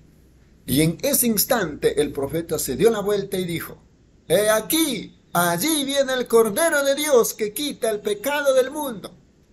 Ahora, ¿cuál es la atracción? Ha cambiado del profeta a su profecía. Ahora, noten lo que sucede. Aquí viene un hombre ordinario, conocido por nadie, el hijo de un carpintero, bajó al agua. Cuando Juan, el profeta, el gran profeta, dijo, yo tengo necesidad de ser bautizado por ti, ¿por qué vienes tú a mí? Él dijo, deja que eso sea así, pero como un profeta y la palabra, nos conviene cumplir con toda justicia. Entonces él entendió que el sacrificio tenía que ser lavado antes de ser presentado y lo bautizó a él. Amén. Párrafo 39. Ahora allí había otra atracción cuando él salió del agua. Este profeta quien había sido tan fiel en declarar su era y el tiempo, él miró hacia arriba y vio que se abrieron los cielos y él vio al Espíritu de Dios como una paloma diciendo sobre él y una voz diciendo, este es mi Hijo amado en el cual tengo contentamiento. Dios estaba vindicando el mensaje de un profeta, lo cual estaba trayendo, atrayendo mucha atención en el Jordán. Amén. Párrafo 40 por último. El hermano cantó hace poco, o debía haber cantado el himno. En el monte Calvario estaba una cruz.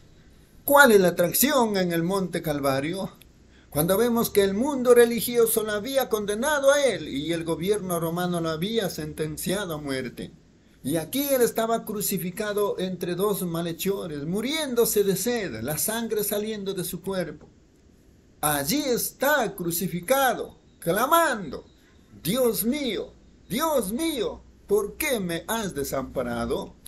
Y la gente religiosa parada allí mirándolo, no sabiendo que la profecía del Antiguo Testamento se estaba cumpliendo allí mismo en el Calvario en ese momento.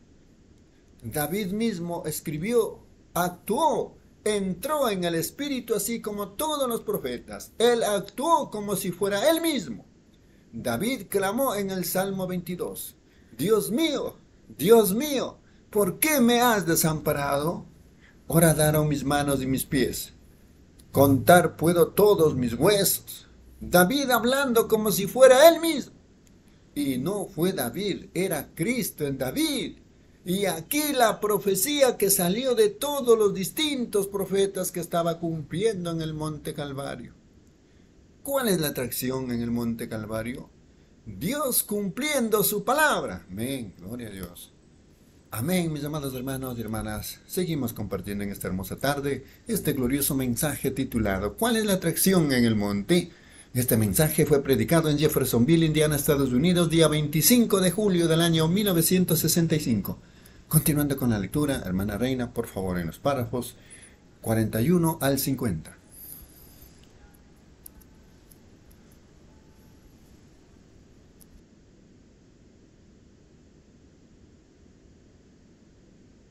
Amén. Dios les bendiga a mis hermanos. Continuamos con la lectura del mensaje. ¿Cuál es la atracción en el monte? Párrafo 41. Otra atracción fue en un monte y fue en el día de Pentecostés.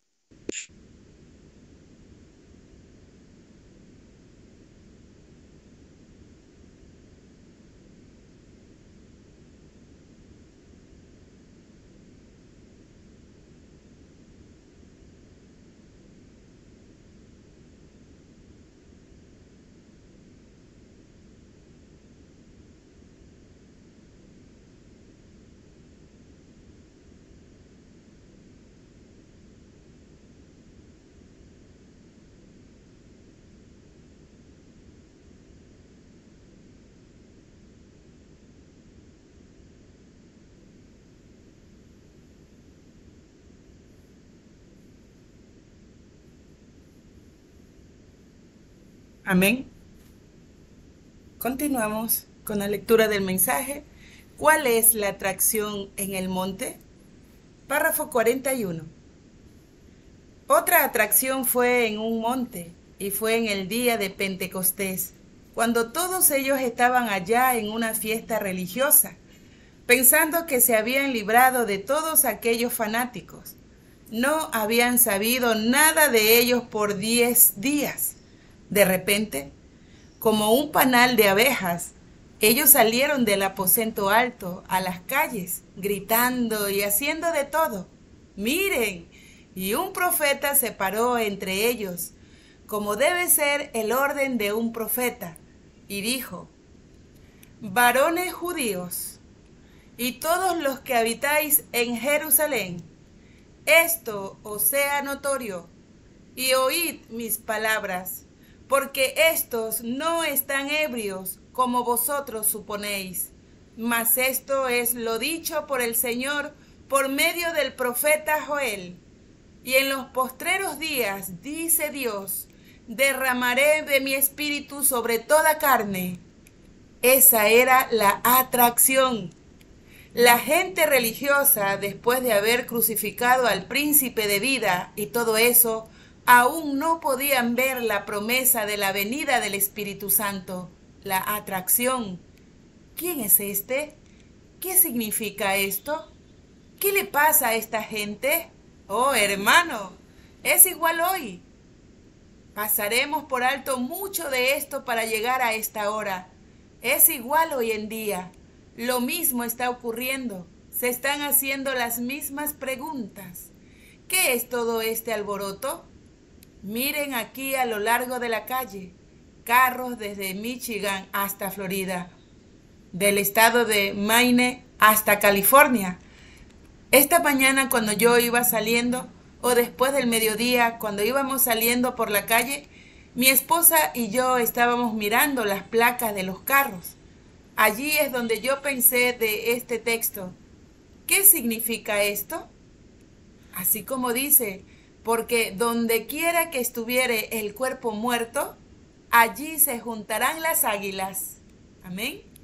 Yo le dije a mi esposa, querida, ¿te acuerdas la última noche cuando yo tuve que despedirme de todo lo que amaba aquí en esta tierra y salir al campo y comenzar algo que Dios me había dicho que hiciera? Tú cantaste aquel himno, del norte, del sur vendrán, del este y del oeste, los blancos también. Sí, miles vendrán, rodeando la mesa ya, con Cristo se gozarán, las bodas al celebrar, y jamás se cansarán de aquel tan feliz hogar. Esa es la atracción, la simiente predestinada de Dios que no puede hacer otra cosa sino seguirlo. Para nosotros significa más que vida, que tomen nuestras vidas, pero no tomen eso. ¿Cuál es la atracción? Dios, como siempre, cumpliendo su palabra. Él nuevamente está cumpliendo la palabra de Zacarías, el profeta Zacarías, donde leí hace poco en el versículo 9, cuando Jesús entró a su templo, cabalgando, o más bien entró a Jerusalén, montado en un pequeño asno blanco, se estaba cumpliendo la profecía dicha por Zacarías. Aquí está. Alégrate mucho, hija de Sión, da voces de júbilo, hija de Jerusalén.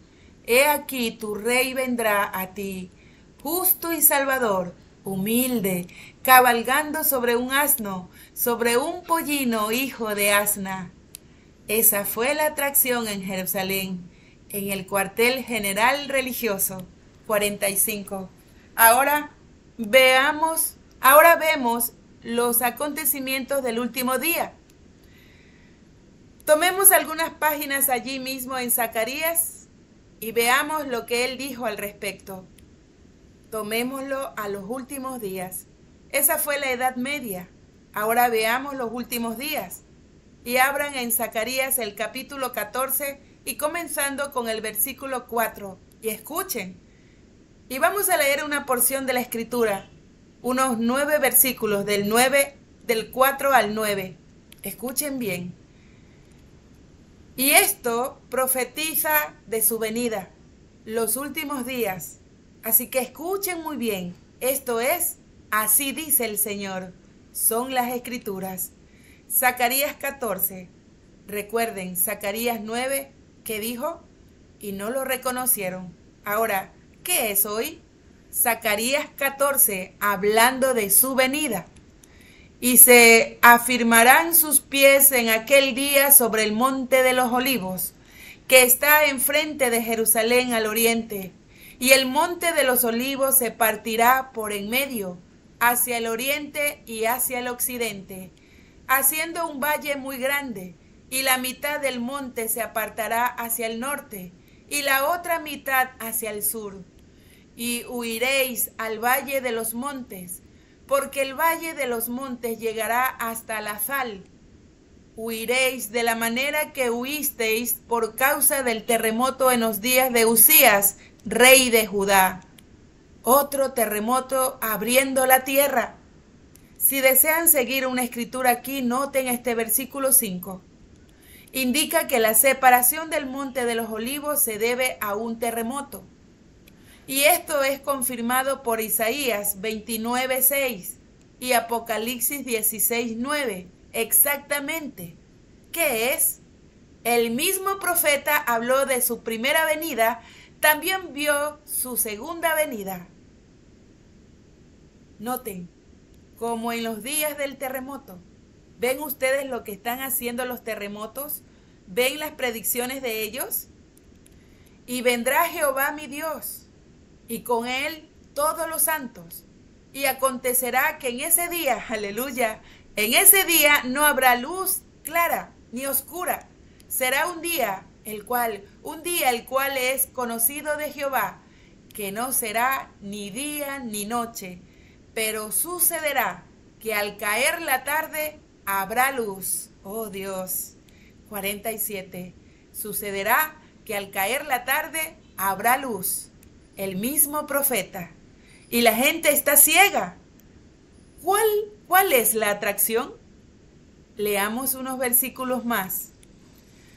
Acontecerá también en aquel día que saldrán de Jerusalén aguas vivas, la mitad de ellas hacia el mar oriental y la otra mitad hacia el mar occidental, en verano y en invierno.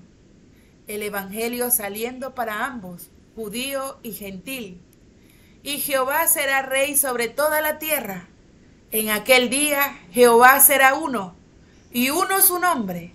Habrá luz en el atardecer, correcto.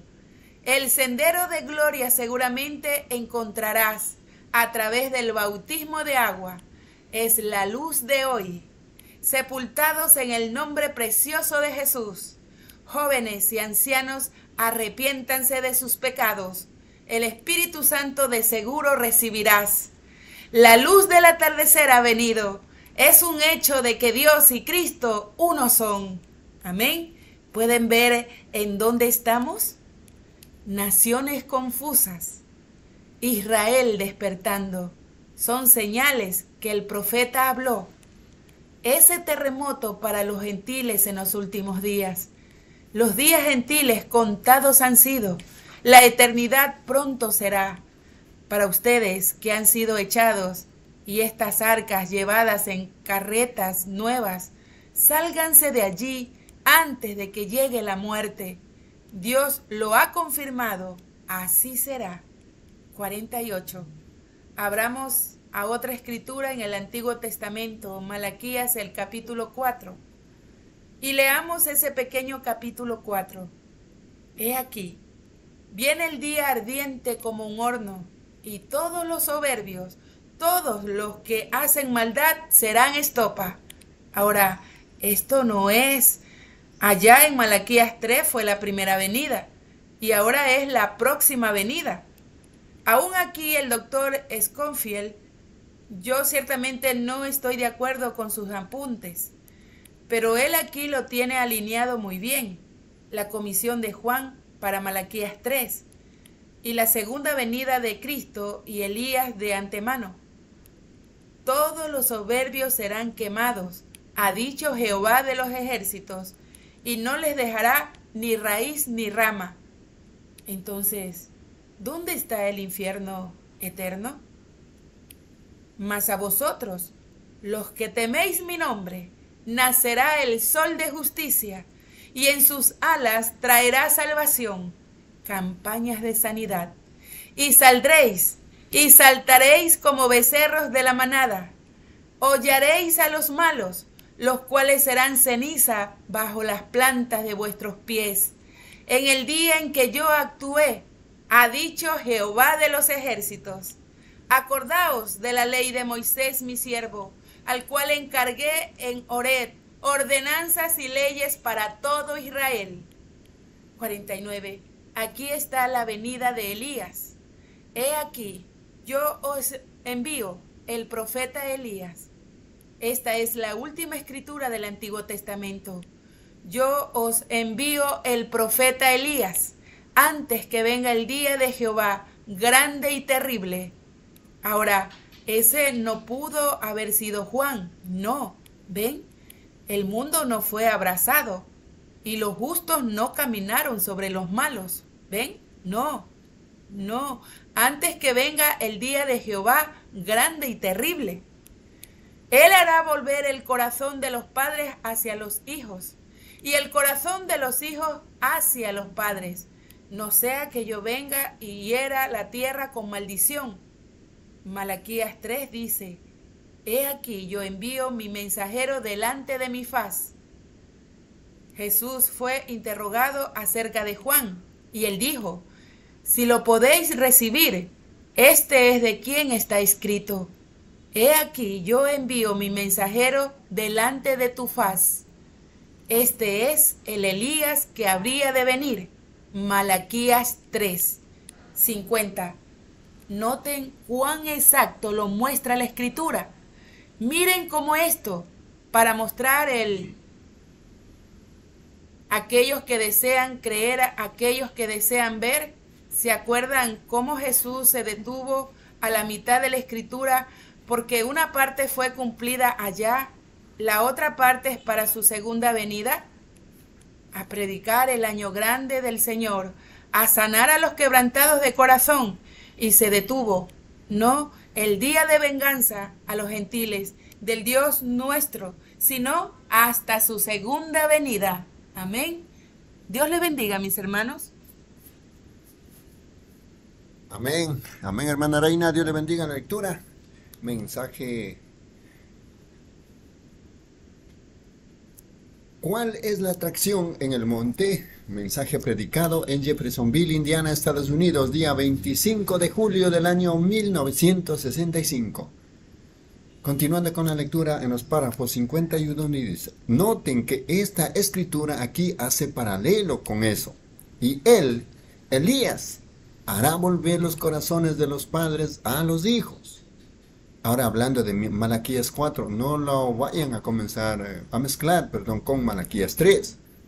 Juan el Elías que vino en los días antes de la primera venida de Cristo hizo volver los corazones de los padres ancianos, los patriarcas, al mensaje de los hijos, el mensaje nuevo.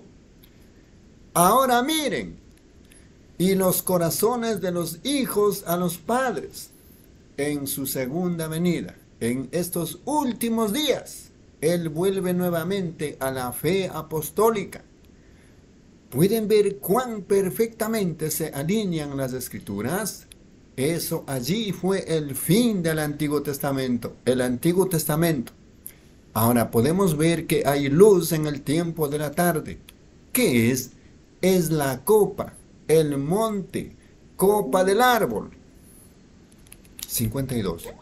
Como dije hoy en la mañana, hemos pasado por las denominaciones a través de, no un naranjo, como hablé hoy en esta mañana, pero hemos tenido toronjas, limones, toda clase de cosas que no eran como fue en el principio. Pero después, no fallen en captarlo. Aquí viene. Después que hayan terminado todas las denominaciones y ellos no tenían luz ni para comenzar, entonces habrá un día que no se podrá llamar ni día ni noche. ¿Qué están haciendo? ¿Qué están haciendo? ¿Qué hace un, un limón en un naranjo? Toma la vida original del naranjo que viene subiendo y la pervierte a un limón. Eso es lo que las denominaciones han hecho con la palabra de Dios. Han anulado el efecto de la palabra de Dios por medio de sus tradiciones. Eso es, así dice el, Espíritu del Señor. Ellos han producido limones, toronjas, pero no naranjas. 53. Pero, ¿qué dijo el profeta? El mismo que dijo esto para nuestro texto en esta noche. Alégrate mucho, hija de Jerusalén. Da voces de júbilo, hija de Sión, porque tu rey ha venido a ti manso y humilde, cabalgando sobre el pollino del asna. Noten que el mismo profeta dijo, habrá un tiempo de madurez el sol es enviado a la tierra para madurar el fruto. ¿Por qué no podían madurar? No existe fruto allí para madurar. Pero la vida aún está avanzando. Párrafo 54. Vino a través de una toronja para hacer una naranja. Halló que estaba organizada, era una toronja. Vino otra vez y salió esta vez como un limón. Siguió otra vez y el resultado fue algo distinto. Y por último, en la copa del árbol se ve que es un táncalo, una mandarina, el cual es mitad naranja y mitad limón. Un producto mixto, fruta híbrida, mitad mandarina y mitad toronja. Una cosa pervertida, y llegó a ser una perversión viviendo por medio de ese mismo árbol. El forro casi engañó a los elegidos. Parece ser una naranja pero no es. Pero habrá luz cuando ella crece más allá de organización, cuando ella va más allá de la organización y florece nuevamente. Entonces producirá naranjas así como cuando entró en la tierra. Y entonces habrá luz. ¿Cuál es esta atracción? ¿Qué está sucediendo? Cumpliendo la palabra de Dios. Ahí están dos testigos en el Antiguo Testamento que, está que esto sucedería. 55. Vemos San Juan 14, 12 del Nuevo Testamento. Allí Jesús dijo, el que en mí cree, las obras que yo hago, él las hará también. También en Lucas 17, 22 al 30, él dijo, así como fue en los días de Lot antes que Sodoma fuera quemada, Así también será en la venida del Hijo del Hombre, ese día cuando el Hijo del Hombre se manifieste. Oh, simplemente miren las escrituras. El Hijo del Hombre, Jesucristo el, el mismo ayer, hoy y por los siglos, creciendo más allá de las denominaciones, creciendo hasta la copa del árbol. ¿Qué dijo él en San Juan 14 o 15?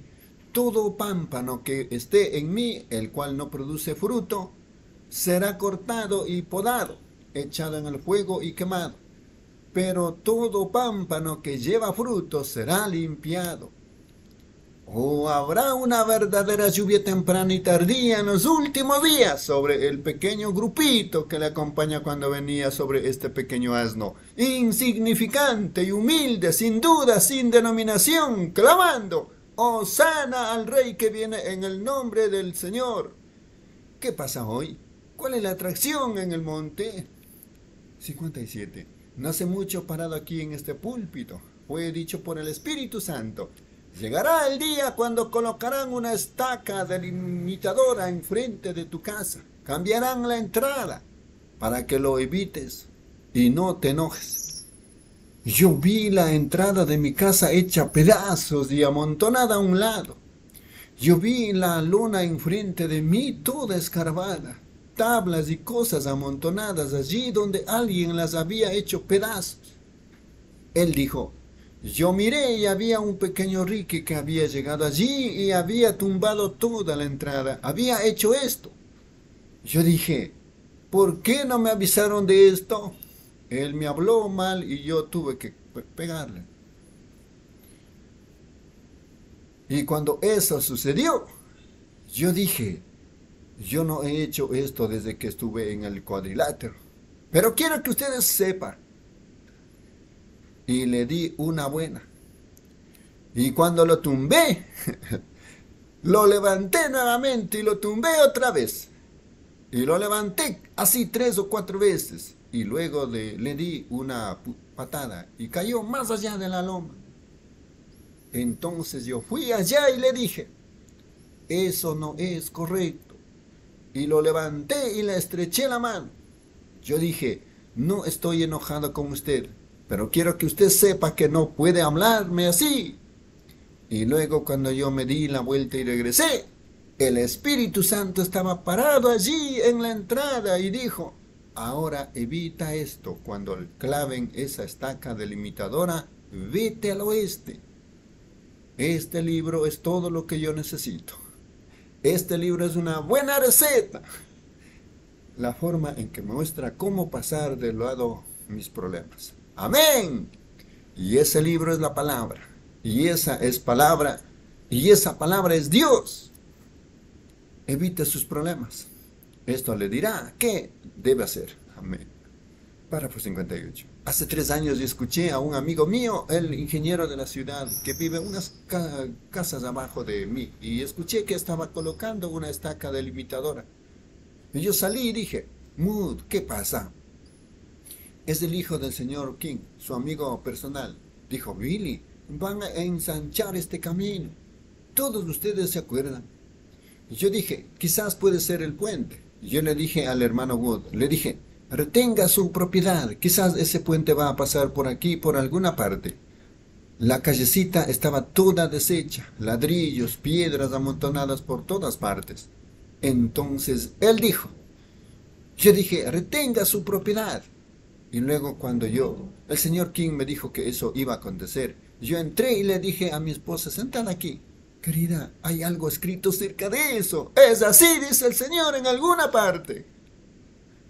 59. Yo fui y saqué mi libro, miré allí y allí decía, llegará a, acontecer. Ocho años después. Entonces cuando lo miré, yo dije, querida, ahora es el tiempo, debemos irnos hacia el oeste. Dos días después, parado allí en la habitación como a las 10 de la mañana, yo entré en el Espíritu de Dios y vi ese grupito de palomas volando. Miré a esos pajaritos pequeños. Ustedes se acuerdan. Yo vi siete ángeles en la forma de una pirámide que venían rápidamente hacia mí. Me dijo, vete para el oeste, vete a Tucson, estarás 40 millas al noreste y estarás quitándote una espina o un abrojo, como le dicen allá, del pantalón. Para 60 por último.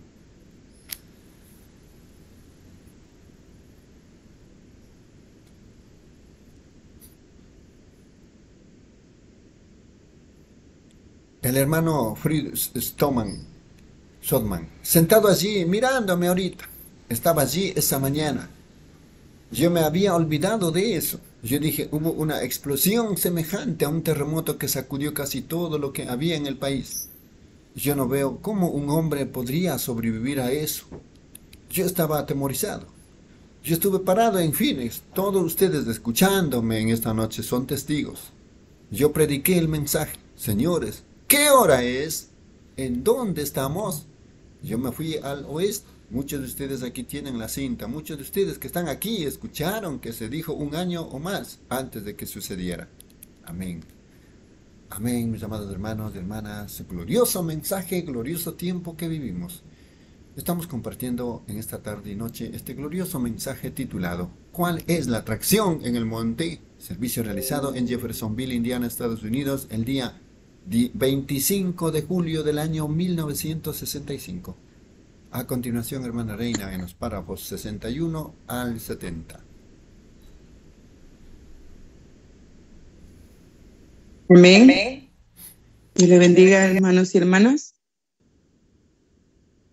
Continuamos con la lectura del mensaje. ¿Cuál es la atracción en el monte? Párrafo 61. Yo me fui al oeste pensando que iba a suceder pensando qué iba a suceder. Un día recibí un llamado del Señor. Yo le dije a mi esposa, le dije, querida, quizás mi trabajo haya terminado. Yo no sabía. Yo dije, bueno, probablemente Dios ha terminado conmigo ahora y yo estaré yéndome a casa. Tú júntate con Billy, llévate a los niños. De alguna manera, Dios te preparará el camino. Sigue adelante y vive fiel a Dios. Asegúrate de que los niños terminen sus estudios. Críalos en el temor de Dios. Ella dijo, Billy, tú no, tú no sabes que eso es la verdad. Yo dije, no, pero un hombre no podría sobrevivir a eso. Y una madrugada el Señor me despertó y dijo, sube allá al cañón Sabino y yo me llevé un papelito y mi Biblia. Mi esposa dijo, ¿a dónde vas? Yo dije, yo no sé, te lo diré cuando regrese. Yo subí al cañón, subí allá arriba donde estaban volando las águilas. Yo estaba observando unos venados parados allí. Me arrodillé para orar y levanté mis manos y una espada cayó en mis manos. Yo miré alrededor yo pensé, ¿qué es esto?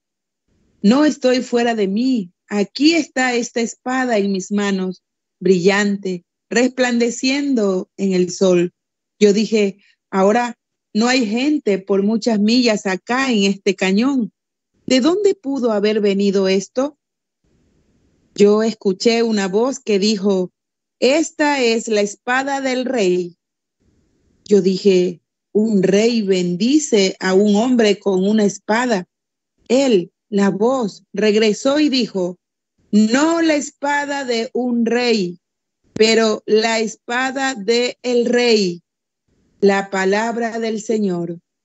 Dijo, no temas, es solamente el tercer jalón, es la vindicación de tu ministerio.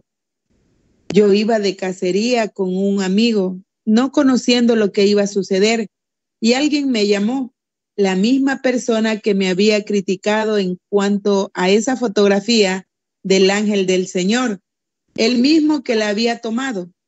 Yo tenía que ir a Houston por causa de su hijo, porque él iba a la muerte y lo iban a matar en unos cuantos días.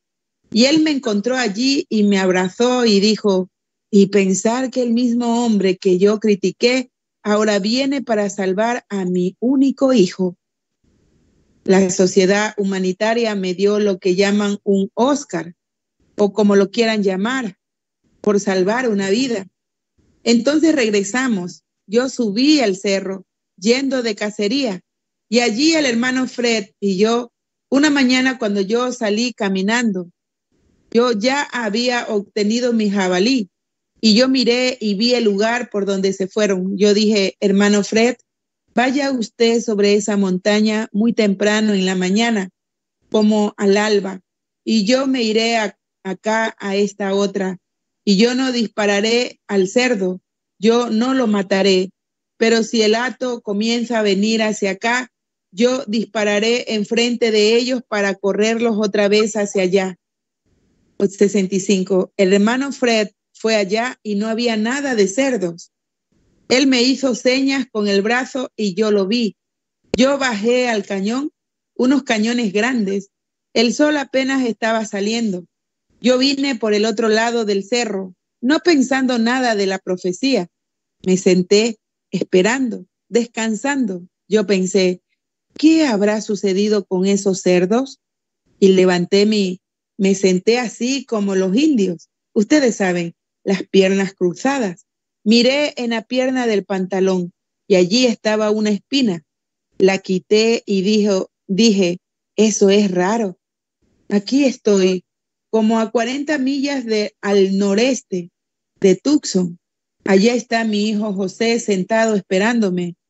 Y cuando comencé a mirar, yo vi un hato de cerdos que apareció como a mil yardas, 914 metros de distancia, sobre un cerro. Yo tiré la espina al suelo. Yo dije, los voy a traer. Voy a ir a traer al hermano Fred y voy a poner un pedazo de papel aquí en este ocotillo para que sepa por dónde ir. E iremos a traer al hermano Fred y comencé a subir el cerro, corriendo lo más que podía por el otro lado. De repente, yo pensé que alguien me había disparado. Yo nunca había escuchado una explosión como esa. Eso sacudió todo ese país. Y cuando sucedió, parados delante de mí, estaban siete ángeles juntos. Yo me encontré con el hermano Fred y los demás un poco después. Dijeron, ¿qué fue eso? Y yo dije, eso fue, ¿qué va a hacer usted? Volver a casa, porque así dice el Señor. Los siete misterios que han estado escondidos en la Biblia por todos estos años, estas denominaciones y todo, Dios nos va a abrir esos siete misterios a nosotros en los siete sellos.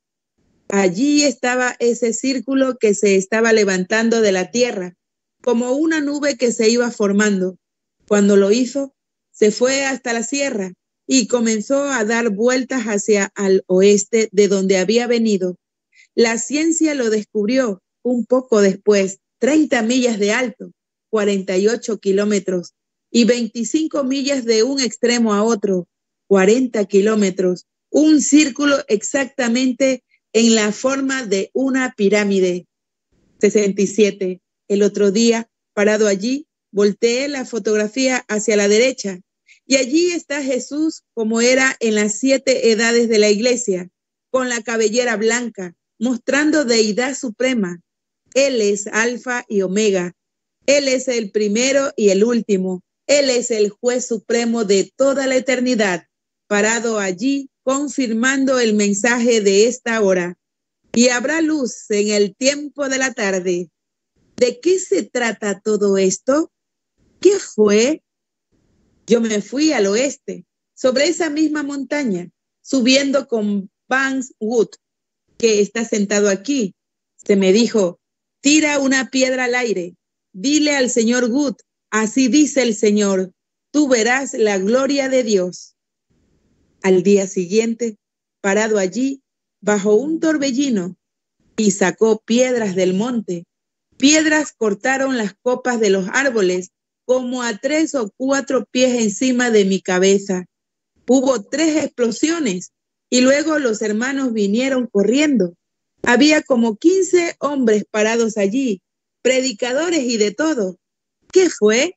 Él dijo, ¿qué fue eso? Yo dije, el juicio está cayendo en la costa del oeste. 69. Como dos días después de eso, un terremoto casi hundió a Alaska. ¿Qué es esta luz allá en el monte del atardecer, en el bosque de Coronado, en Arizona? ¿Qué fue esta cosa rara que sucedió allá y que la gente ha venido viajando de este a oeste y recogiendo piedras que cayeron por allí cuando esto sucedió? Y cada una de ellas, cada piedra tiene tres ángulos donde se desprendió los tres son uno. Están sobre escritorios como pisapapeles a través de la nación. ¿Qué es esta cosa rara que sucedió en el monte del atardecer en el bosque coronado? 70. Junior Jackson, que está escuchando, ¿se acuerda del sureño que el, perdón, ¿se acuerdan del sueño que él tuvo y que yo interpreté? Viajando hacia la puesta del sol. Y esto sucedió en el monte del atardecer. Es el tiempo de la tarde, la puesta del sol, el mensaje del atardecer a través de una escena de la historia, o más bien una escena de profecía siendo cumplida. Y habrá luz en el tiempo de la tarde sobre el monte del atardecer en el bosque coronado, 40 millas al norte de Tucson. Vean en el mapa y vean allí el pico del atardecer. Allí es exactamente donde sucedió. Yo nunca lo supe hasta el otro día. Amén. Dios le bendiga, mis hermanos. Amén, hermana Reina, Dios le bendiga. Estamos compartiendo en esta hermosa tarde y noche este glorioso mensaje titulado ¿Cuál es la atracción en el monte? Servicio realizado en Jeffersonville, Indiana, Estados Unidos, día 25 de julio del año 1965. Continuando con la lectura en los párrafos. 71 dice, todo eso, eso nunca morirá. Constantemente se está desarrollando. Desde que la cosa sucedió hasta la fotografía siendo Jesús parado, mirándonos. Y ahora exactamente en el monte del atardecer, la luz de la puesta del sol la luz del atardecer ha venido, Dios vindicándose a sí mismo. ¿Qué es? Es un hecho que Dios y Cristo uno son. Lo blanco. ¿Cuántos lo vieron? La cabellera blanca sobre él, como hablamos en Apocalipsis capítulo 1. Ven, la deidad suprema, autoridad suprema. Ninguna otra voz, ningún otro Dios, nada más. En él mora la plenitud de la deidad corporalmente. Los ángeles mismos eran su cabellera. Amén. ¿Qué ha sucedido sobre el monte del atardecer? Dios confirmando su palabra. De eso se trata todo este ruido. Noten, es Dios cumpliendo su palabra prometida una vez más. De Apocalipsis 10, 1 al 7. Y en los días del sonar del mensaje del séptimo ángel, el misterio de Dios debe ser concluido el misterio oculto de Apocalipsis 10, 1 al 7, el último mensaje de la última edad de la iglesia, cumple exactamente en esta edad. San Lucas 17:30. El día cuando el Hijo del Hombre será revelado y se levantarán falsos profetas y falsos cristos y mostrarán grandes señales y maravillas en tanto que engañará a los mismos elegidos si fuere posible. La gente todavía está dudando. Y como siempre, la iglesia está igual de enredada. 73. Y aún la ciencia allá en Tucson están escribiendo cosas en el periódico. Y allá en el Monte Limón, esas tremendas cámaras no lo vieron cuando se levantó de donde estábamos parados, yendo hacia el oeste, mostrando que el tiempo ha terminado. No puede seguir sino un poquito. Y ya está en la costa del oeste. El juicio cayó en el mismo camino por donde eso se fue. Se fue por encima de Fines y directamente atravesó hasta Prescott y cruzó las montañas hacia la costa del oeste, directamente hacia... ¿A dónde iban? Directamente hacia Alaska y está tronando dirigido hacia allá. 74. Y los observatorios y todos aquellos de Tucson aún están preguntando. La ciencia está tratando de descubrir lo que fue. Tan alto que no puede haber neblina, humedad o nada ya en esa altura. ¿Qué lo hizo? ¿A dónde está? Están igualmente confundidos con ese halo sobrenatural allá en el cielo, como estaban cuando los magos vinieron siguiendo una estrella, diciendo, ¿dónde está aquel que ha nacido rey de los judíos? ¿Qué fue Dios cumpliendo su palabra, y saldrá estrella de Jacob. 75. Y el Dios del cielo prometió que en el tiempo de la tarde habrían luces de la tarde.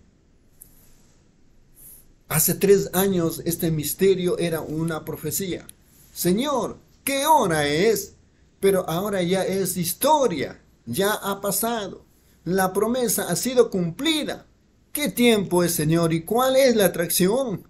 Dios cumpliendo su palabra. Él es el mismo ayer y hoy y por los siglos. Oremos. Párrafo 76.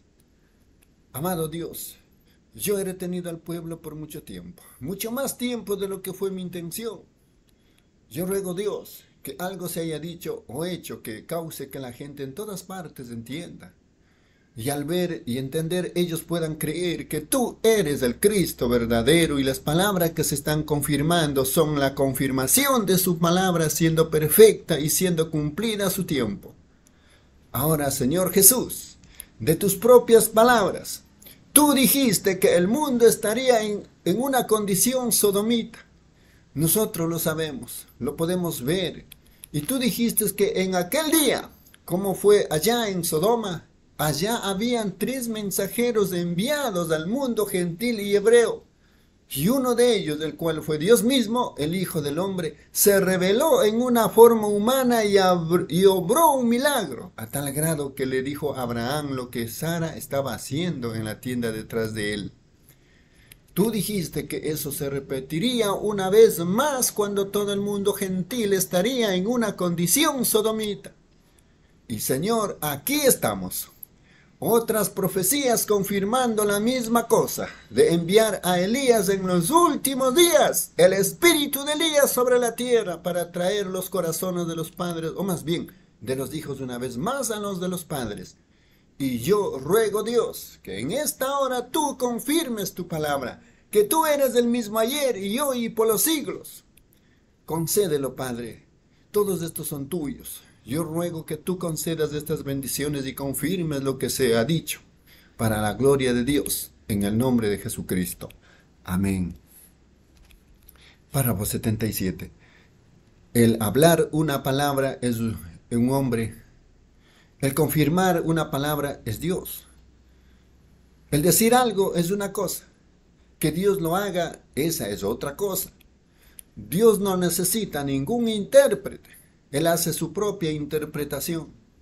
Ahora, Dios mediante nos estamos alistando para tener una línea de oración para orar por los enfermos. Y sabemos que no hay ningún hombre, ninguna mujer, ningún ser humano, ningún ángel que le puede sanar a usted porque Dios ya lo ha hecho. Él hizo la preparación. Lo único que usted tiene que hacer es recibirlo. No hay ningún hombre, ningún ángel, ni nada más, ni Dios mismo, que puede perdonarle a usted sus pecados. Eso ya está hecho. Jesús hizo eso en la cruz. Pero no lo prosperará usted nada o no lo beneficiará nada hasta que usted lo acepte. Ve. Lo único que se puede hacer son las órdenes dadas por Dios mismo, que creyentes pongan sus manos sobre los enfermos, Ha sido a través de las edades que se ha hecho eso, a través de los avivamientos, y lo han llamado Dios. Párrafo 79. Abraham vio muchas señales, pero llegó un tiempo cuando Abraham vio su última señal, justamente antes que Sodoma fuera quemada, y eso fue Dios manifestándose a sí mismo en forma de un hombre. ¿Lo creen ustedes así? Dijo Jesús que eso se repetiría. Para 80 por último. Ahora, ¿cuántos aquí y allá por la radio o en las líneas telefónicas a través de la nación, si aún está escuchando, prepárense ahora para orar? Estén orando y ustedes que, que tienen aquí estos pañuelos. Ahora, yo no le puedo decir a Dios que lo, lo que Él debe hacer. No, lejos fuera de mí aún intentarlo. Él es soberano. Él hace lo que desea. Yo solamente puedo obedecer y solamente puedo hacer lo que Él dice. Amén. Amén, mis amados hermanos hermanas. Continuamos compartiendo este glorioso mensaje. ¿Cuál es la atracción en el monte? Servicio realizado en Jeffersonville, Indiana, Estados Unidos, día 25 de julio del año 1965. A continuación, hermana Reina, por favor, en los párrafos 81 al 92.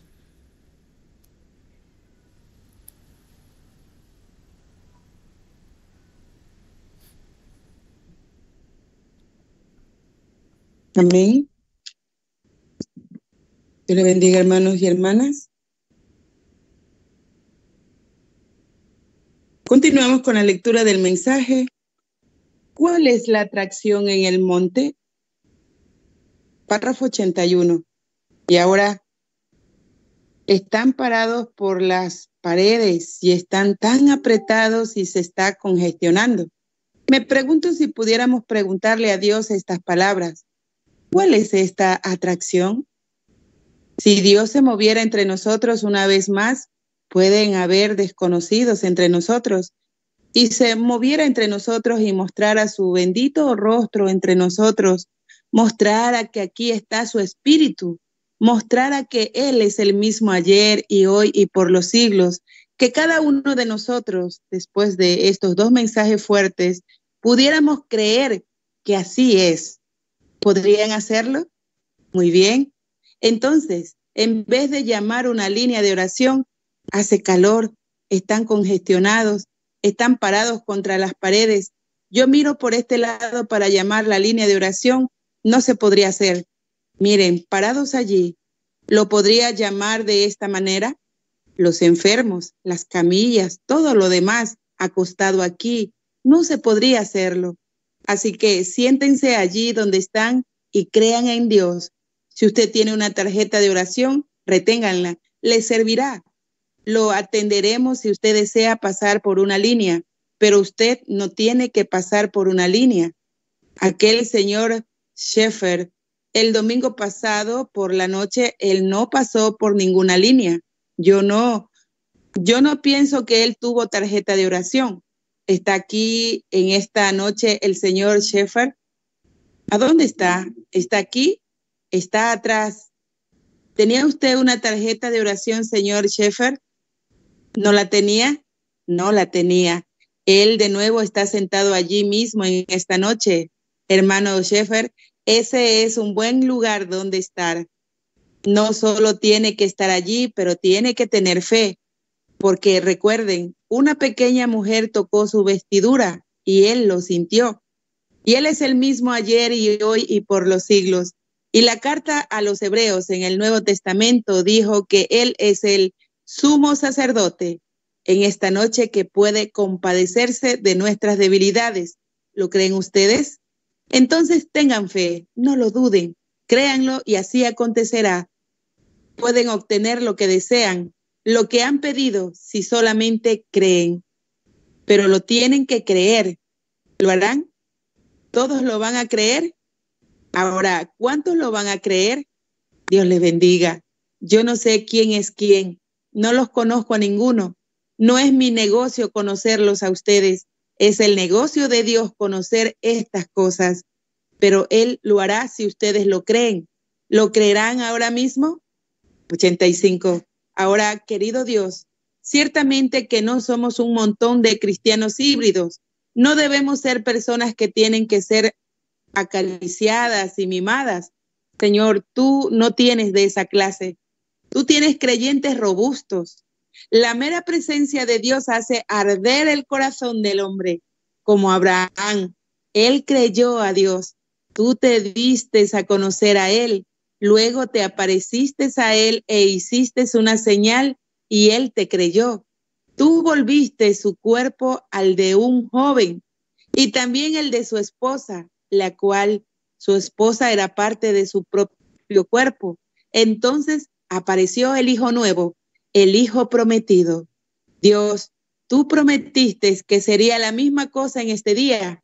Yo ruego que tú confirmes esta palabra y enfocaremos en esta promesa allí, que sería como fue allá en Sodoma, antes que Sodoma fuera quemada y que el juicio llegara a Sodoma, el mundo gentil. Asimismo, el juicio está listo para caer en el mundo gentil y los judíos tienen tres años y medio más para pasar por la tribulación. La angustia de Jacob, la continuación de las setenta semanas de Daniel. Pero el tiempo de los gentiles está contado. Es tiempo de irnos. Y tú diste esa señal, y tú dijiste que sería de nuevo. Concédelo Dios. Ellos, estamos en tus manos haz con nosotros como te plazca, en el nombre de Jesucristo. Amén. Ahora, no estén nerviosos. ¿Cómo sería si yo estuviera nervioso? Ahora, estoy haciendo algo aquí que tiene que depender de la soberanía de Dios. Pero, ¿por qué hago esto? Él dijo que así sería. Eso lo arregla todo. Y si Él se confirma así ante ustedes, bueno, ¿no lo pueden creer? Ciertamente, ustedes tengan fe y crean. Y déjenme mirar por aquí para ver por dónde el Espíritu Santo guiará lo que Él hará. Yo no sé lo que Él hará, eso está con Él. Pero si ustedes solamente tuvieran fe, solo crean. Todas las cosas son posibles para aquellos que creen. Todos los que creen eso, levanten sus manos y digan, yo sí lo creo. Con todo mi corazón, yo sí lo creo. 88. Ahora Tres será una confirmación. Si él lo hará tres veces enseguida para probar a ustedes que sí es correcto. A mí no me interesa dónde está usted, quién es usted. Simplemente tenga fe y crea. Ahora no, no se estén moviendo. Señora, orando. Yo no la conozco a usted. Quédese sentada allí donde está. Usted no tiene que llegar acá. Yo no la conozco, pero usted tiene allí a una niñita. Yo soy un desconocido totalmente para usted y la niñita parece normal, parece sana.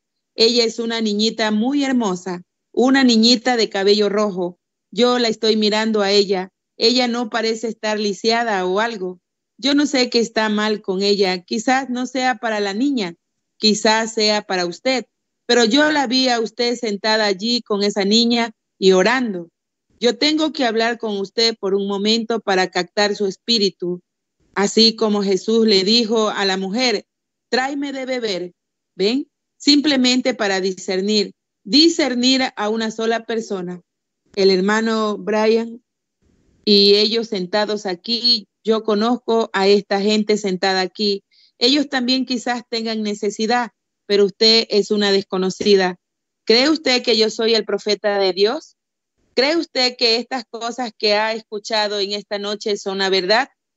Ahora, si Dios me revela algo que usted ha hecho o algo que usted no debiera haber hecho o algo que está mal con usted o lo que fuera su deseo, usted sabrá si es correcto o no. ¿No es así?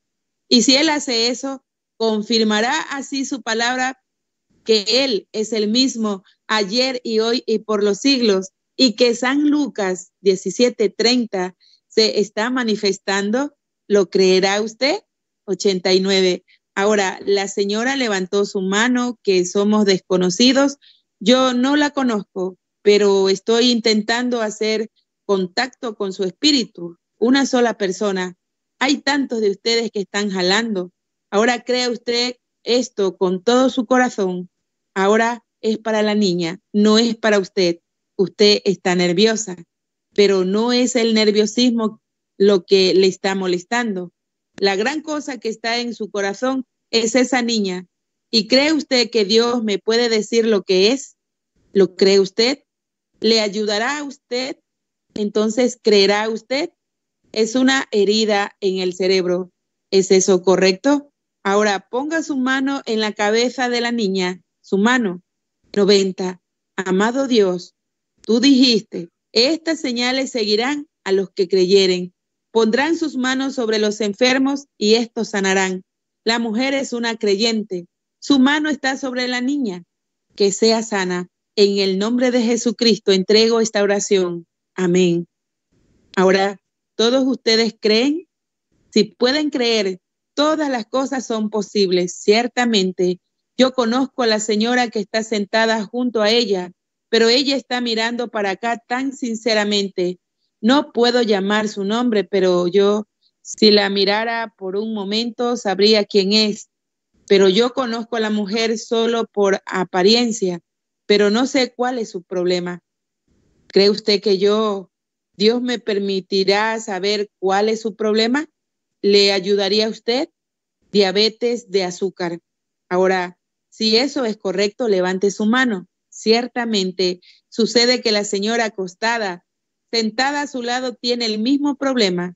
Ella es una desconocida. La otra señora está orando por alguien, un niño lisiado.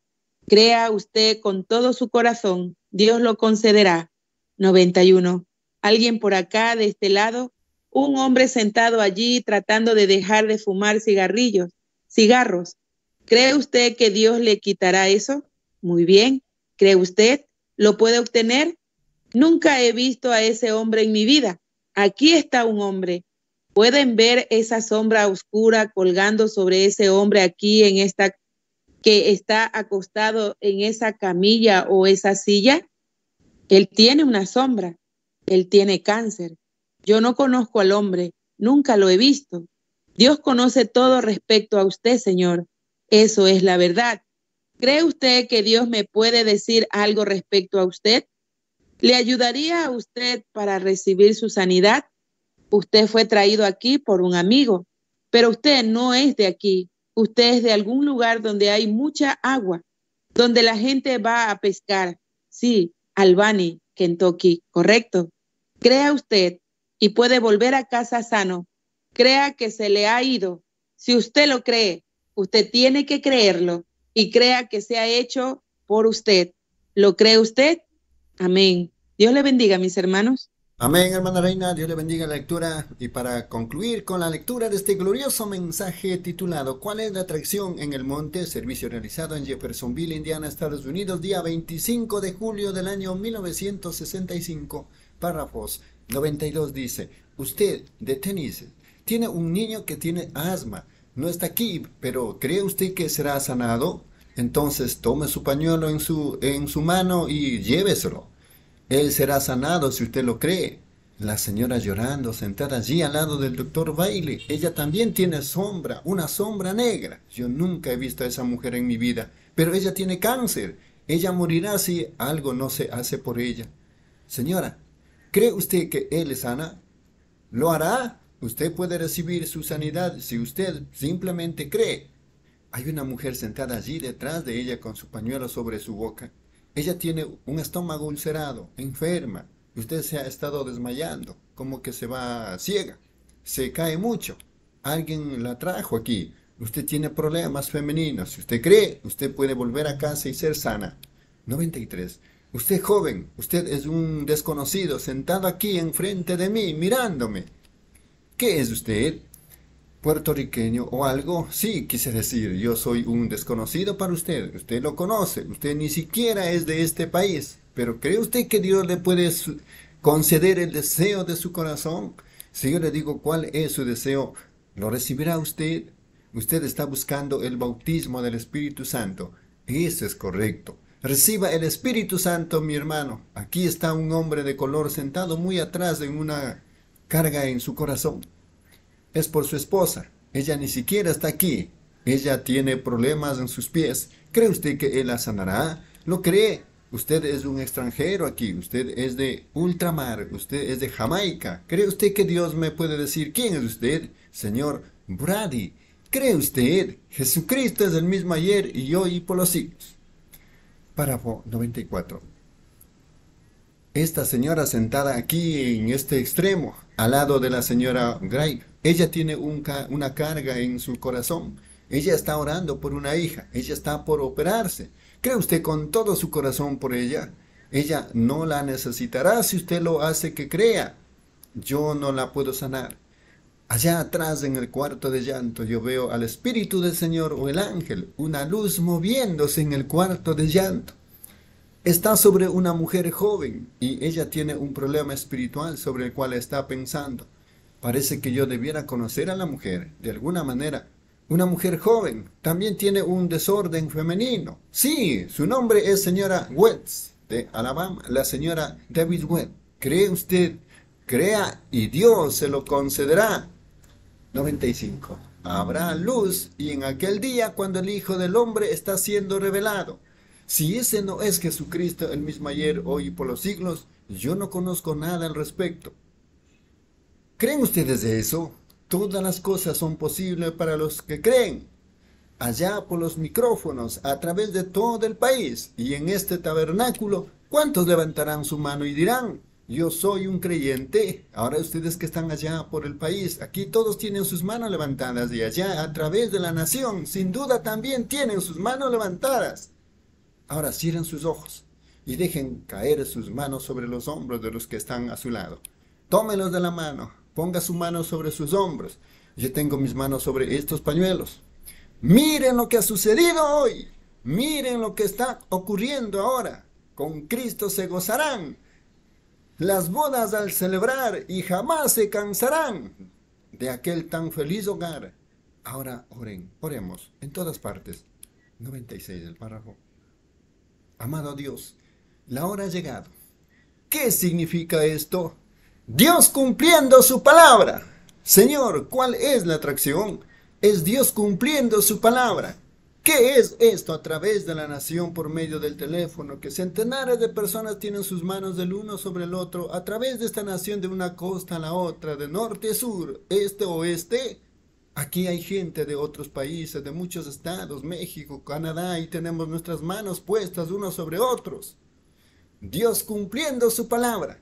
¿Cómo es esto que una persona puede pararse aquí y por el Espíritu Santo llamar a un hombre como él lo hizo con Simón Pedro? Tu nombre es Simón y tú eres el hijo de Jonás. Ve, trae a tu esposo y ven acá. Yo no tengo esposo, ciertamente porque has tenido cinco. Ella dijo, yo sé que el Mesías viene para hacer esto. Pero ¿quién eres tú? Él dijo, yo soy él. Y tú eres el mismo ayer y hoy y por los siglos. Y tú has prometido, las obras que yo hago ustedes también las harán mayores que éstas harán, porque yo voy al Padre. Y he aquí, en los últimos días, yo les enviaré a Elías el profeta, y él hará volver los pensamientos del pueblo, hará volver los corazones de los hijos una vez más a la enseñanza apostólica de la Biblia. Y habrá luz en el tiempo de la tarde. Aquí estamos, gran Dios del cielo, la hora ha llegado. Las manos están sobre el pueblo. Satanás, tú estás derrotado. Tú eres un mentiroso. Y como un siervo de Dios y como sus siervos, nosotros mandamos que en el nombre de Jesucristo, que tú obedezcas a la palabra de Dios y salgas del pueblo, porque está escrito, en mi nombre echarán fuera demonios y que toda la gente sea liberada. Concédelo, amado Dios. Tú eres el Dios del cielo que derrotaste toda enfermedad todo malestar y todas las obras del diablo aquel día con una atracción en el monte Calvario. Tú eres Dios y toda la gente sana por tus llagas. Están libres en el nombre de Jesucristo. Amén. Dios todo pañuelo que está aquí, mientras que el Espíritu de Dios está presente, mientras que la unción de Jesucristo está sobre el pueblo y las grandes señales que Él prometió se están cumpliendo y la tierra está temblando y los terremotos están sucediendo y las grandes señales que Él dijo y las escrituras se están cumpliendo y la luz del atardecer está brillando. Yo pongo mi cuerpo sobre todos estos pañuelos representando todo este cuerpo de creyentes de este, oeste, norte y sur para decirle al diablo, en el nombre de Jesucristo, deja todo paciente sobre el cual estas cosas se pondrán para la honra y gloria de la palabra de Dios. En el nombre de la palabra de Dios, Jesucristo de Nazaret. Amén. Párrafo 99. Ahora, quietamente, sanamente, sobriamente y en su mente correcta, como creyentes, ahora creen y aceptan su sanidad del Dios Todopoderoso en el nombre de Jesucristo.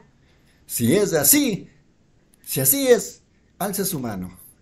Todos allá a través del país, levanten su mano allá. Toda persona aquí hasta donde puedo ver, tienen sus manos levantadas. Adentro, afuera, en las ventanas, en las puertas, en los cuartos de llanto o por todas partes. Gente con manos alzadas, ellos lo aceptan. Satanás, estás derrotado. Las llagas de Jesucristo los ha sanado. La presencia de Jesucristo verifica el hecho de que Él está vivo y siempre capaz de cumplir toda promesa que Él ha hecho. Amén. Yo lo creo. ¿Ustedes también? Ahora, pongámonos de pie en el nombre del Señor Jesús, aceptando todo lo que se ha hecho o dicho. Le amamos con todo nuestro corazón. Lo acariciamos a Él con todo lo que está dentro de nosotros. Y ahora mientras viajan a sus distintos hogares en esta noche, Dios sea con ustedes. Dios les concede el Espíritu Santo si no tienen el Espíritu Santo. Párrafo 101. Todo hombre, mujer, niño o niña aquí, que no ha sido bautizado en el nombre de Jesucristo. Aquí hay ropa, aquí está el agua. No deje para mañana lo que se puede hacer hoy. Mañana puede ser muy tarde. Suficiente para el día son los males de ese día. Aquí hay ministros parados, esperando, ropa esperando. No hay pretextos. ¿Está usted esperando? Si lo está y usted cree, no importa cómo usted ha sido bautizado, rociado o lo que fuera, eso es un error. La luz ha venido. Venga, crea y sea bautizado. Todos los que no tienen el Espíritu Santo, que reciban el Espíritu Santo, cada uno de ustedes, en el poder y amor divino y completo que Él lo prometió para que usted sea una criatura nueva en Él. Dios les bendiga. 102. Y ahora hasta el próximo domingo a las nueve y media de la mañana cantemos este canto que cantábamos hace muchos años. No nos olvidemos de la oración familiar. Ahí te quiere encontrar Jesús. Él te librará de todo cuidado. No nos olvidemos de la oración familiar. Ahora cantémoslo juntos. No nos olvidemos de la oración familiar. Ahí te quiere encontrar Jesús. Él te librará de todo cuidado. No nos olvidemos de la oración familiar. Ahora mientras lo cantamos otra vez, salude de mano al peregrino que está a su lado. Ven, mientras lo cantamos. No nos olvidemos de la oración familiar. Ahí te quiere encontrar Jesús. Él te librará de todo cuidado. No nos olvidemos de la oración familiar. ¿No le aman ustedes? Yo le amo.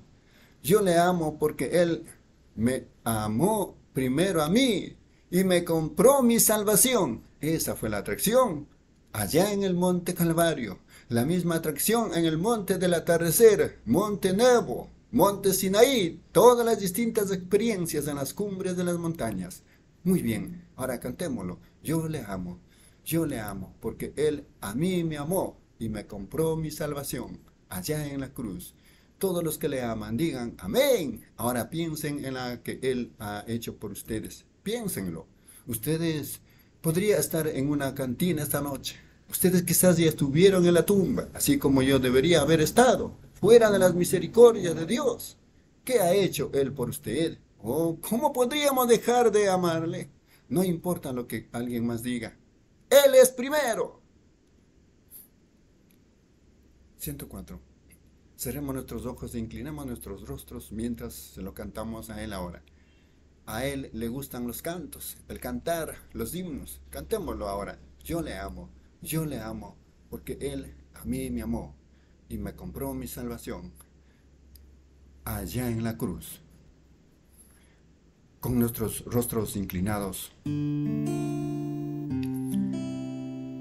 Nuestros corazones inclinados en su presencia agradecidos por lo que nuestros ojos han visto, lo que nuestros oídos han oído, lo que está registrado en la palabra de Dios, lo que ha sido su promesa para nosotros en este día.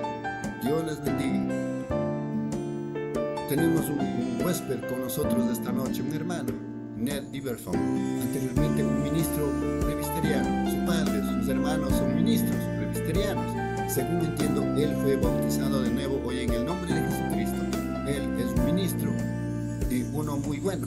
Y ahora le voy a pedir a él, como yo creo que él es uno de los siervos de Dios, que pida las bendiciones de Dios sobre esta congregación mientras salen por sus hogares, para sus hogares. Hermano Iverson, venga acá, mientras tenemos nuestros rostros inclinados en oración. Dios le bendiga, mi hermano.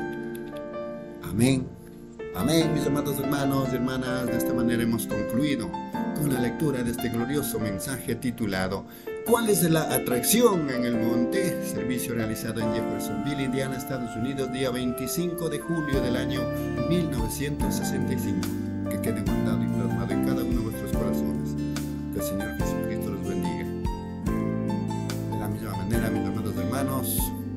por el tiempo, y disculpen, hemos pasado unos minutitos, por el tiempo vamos a concluir con este compañerismo glorioso, si Dios permite, el día de mañana. Continuaremos compartiendo nuestro siguiente mensaje a ser lecturado y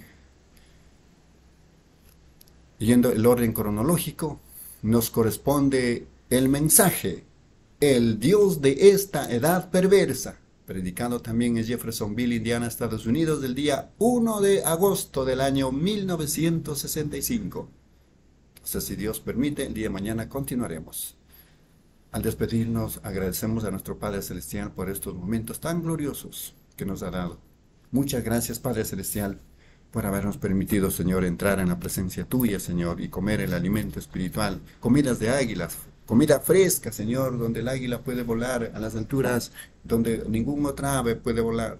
Y de allí están mirando los acontecimientos naturales y espirituales, oh Padre amado.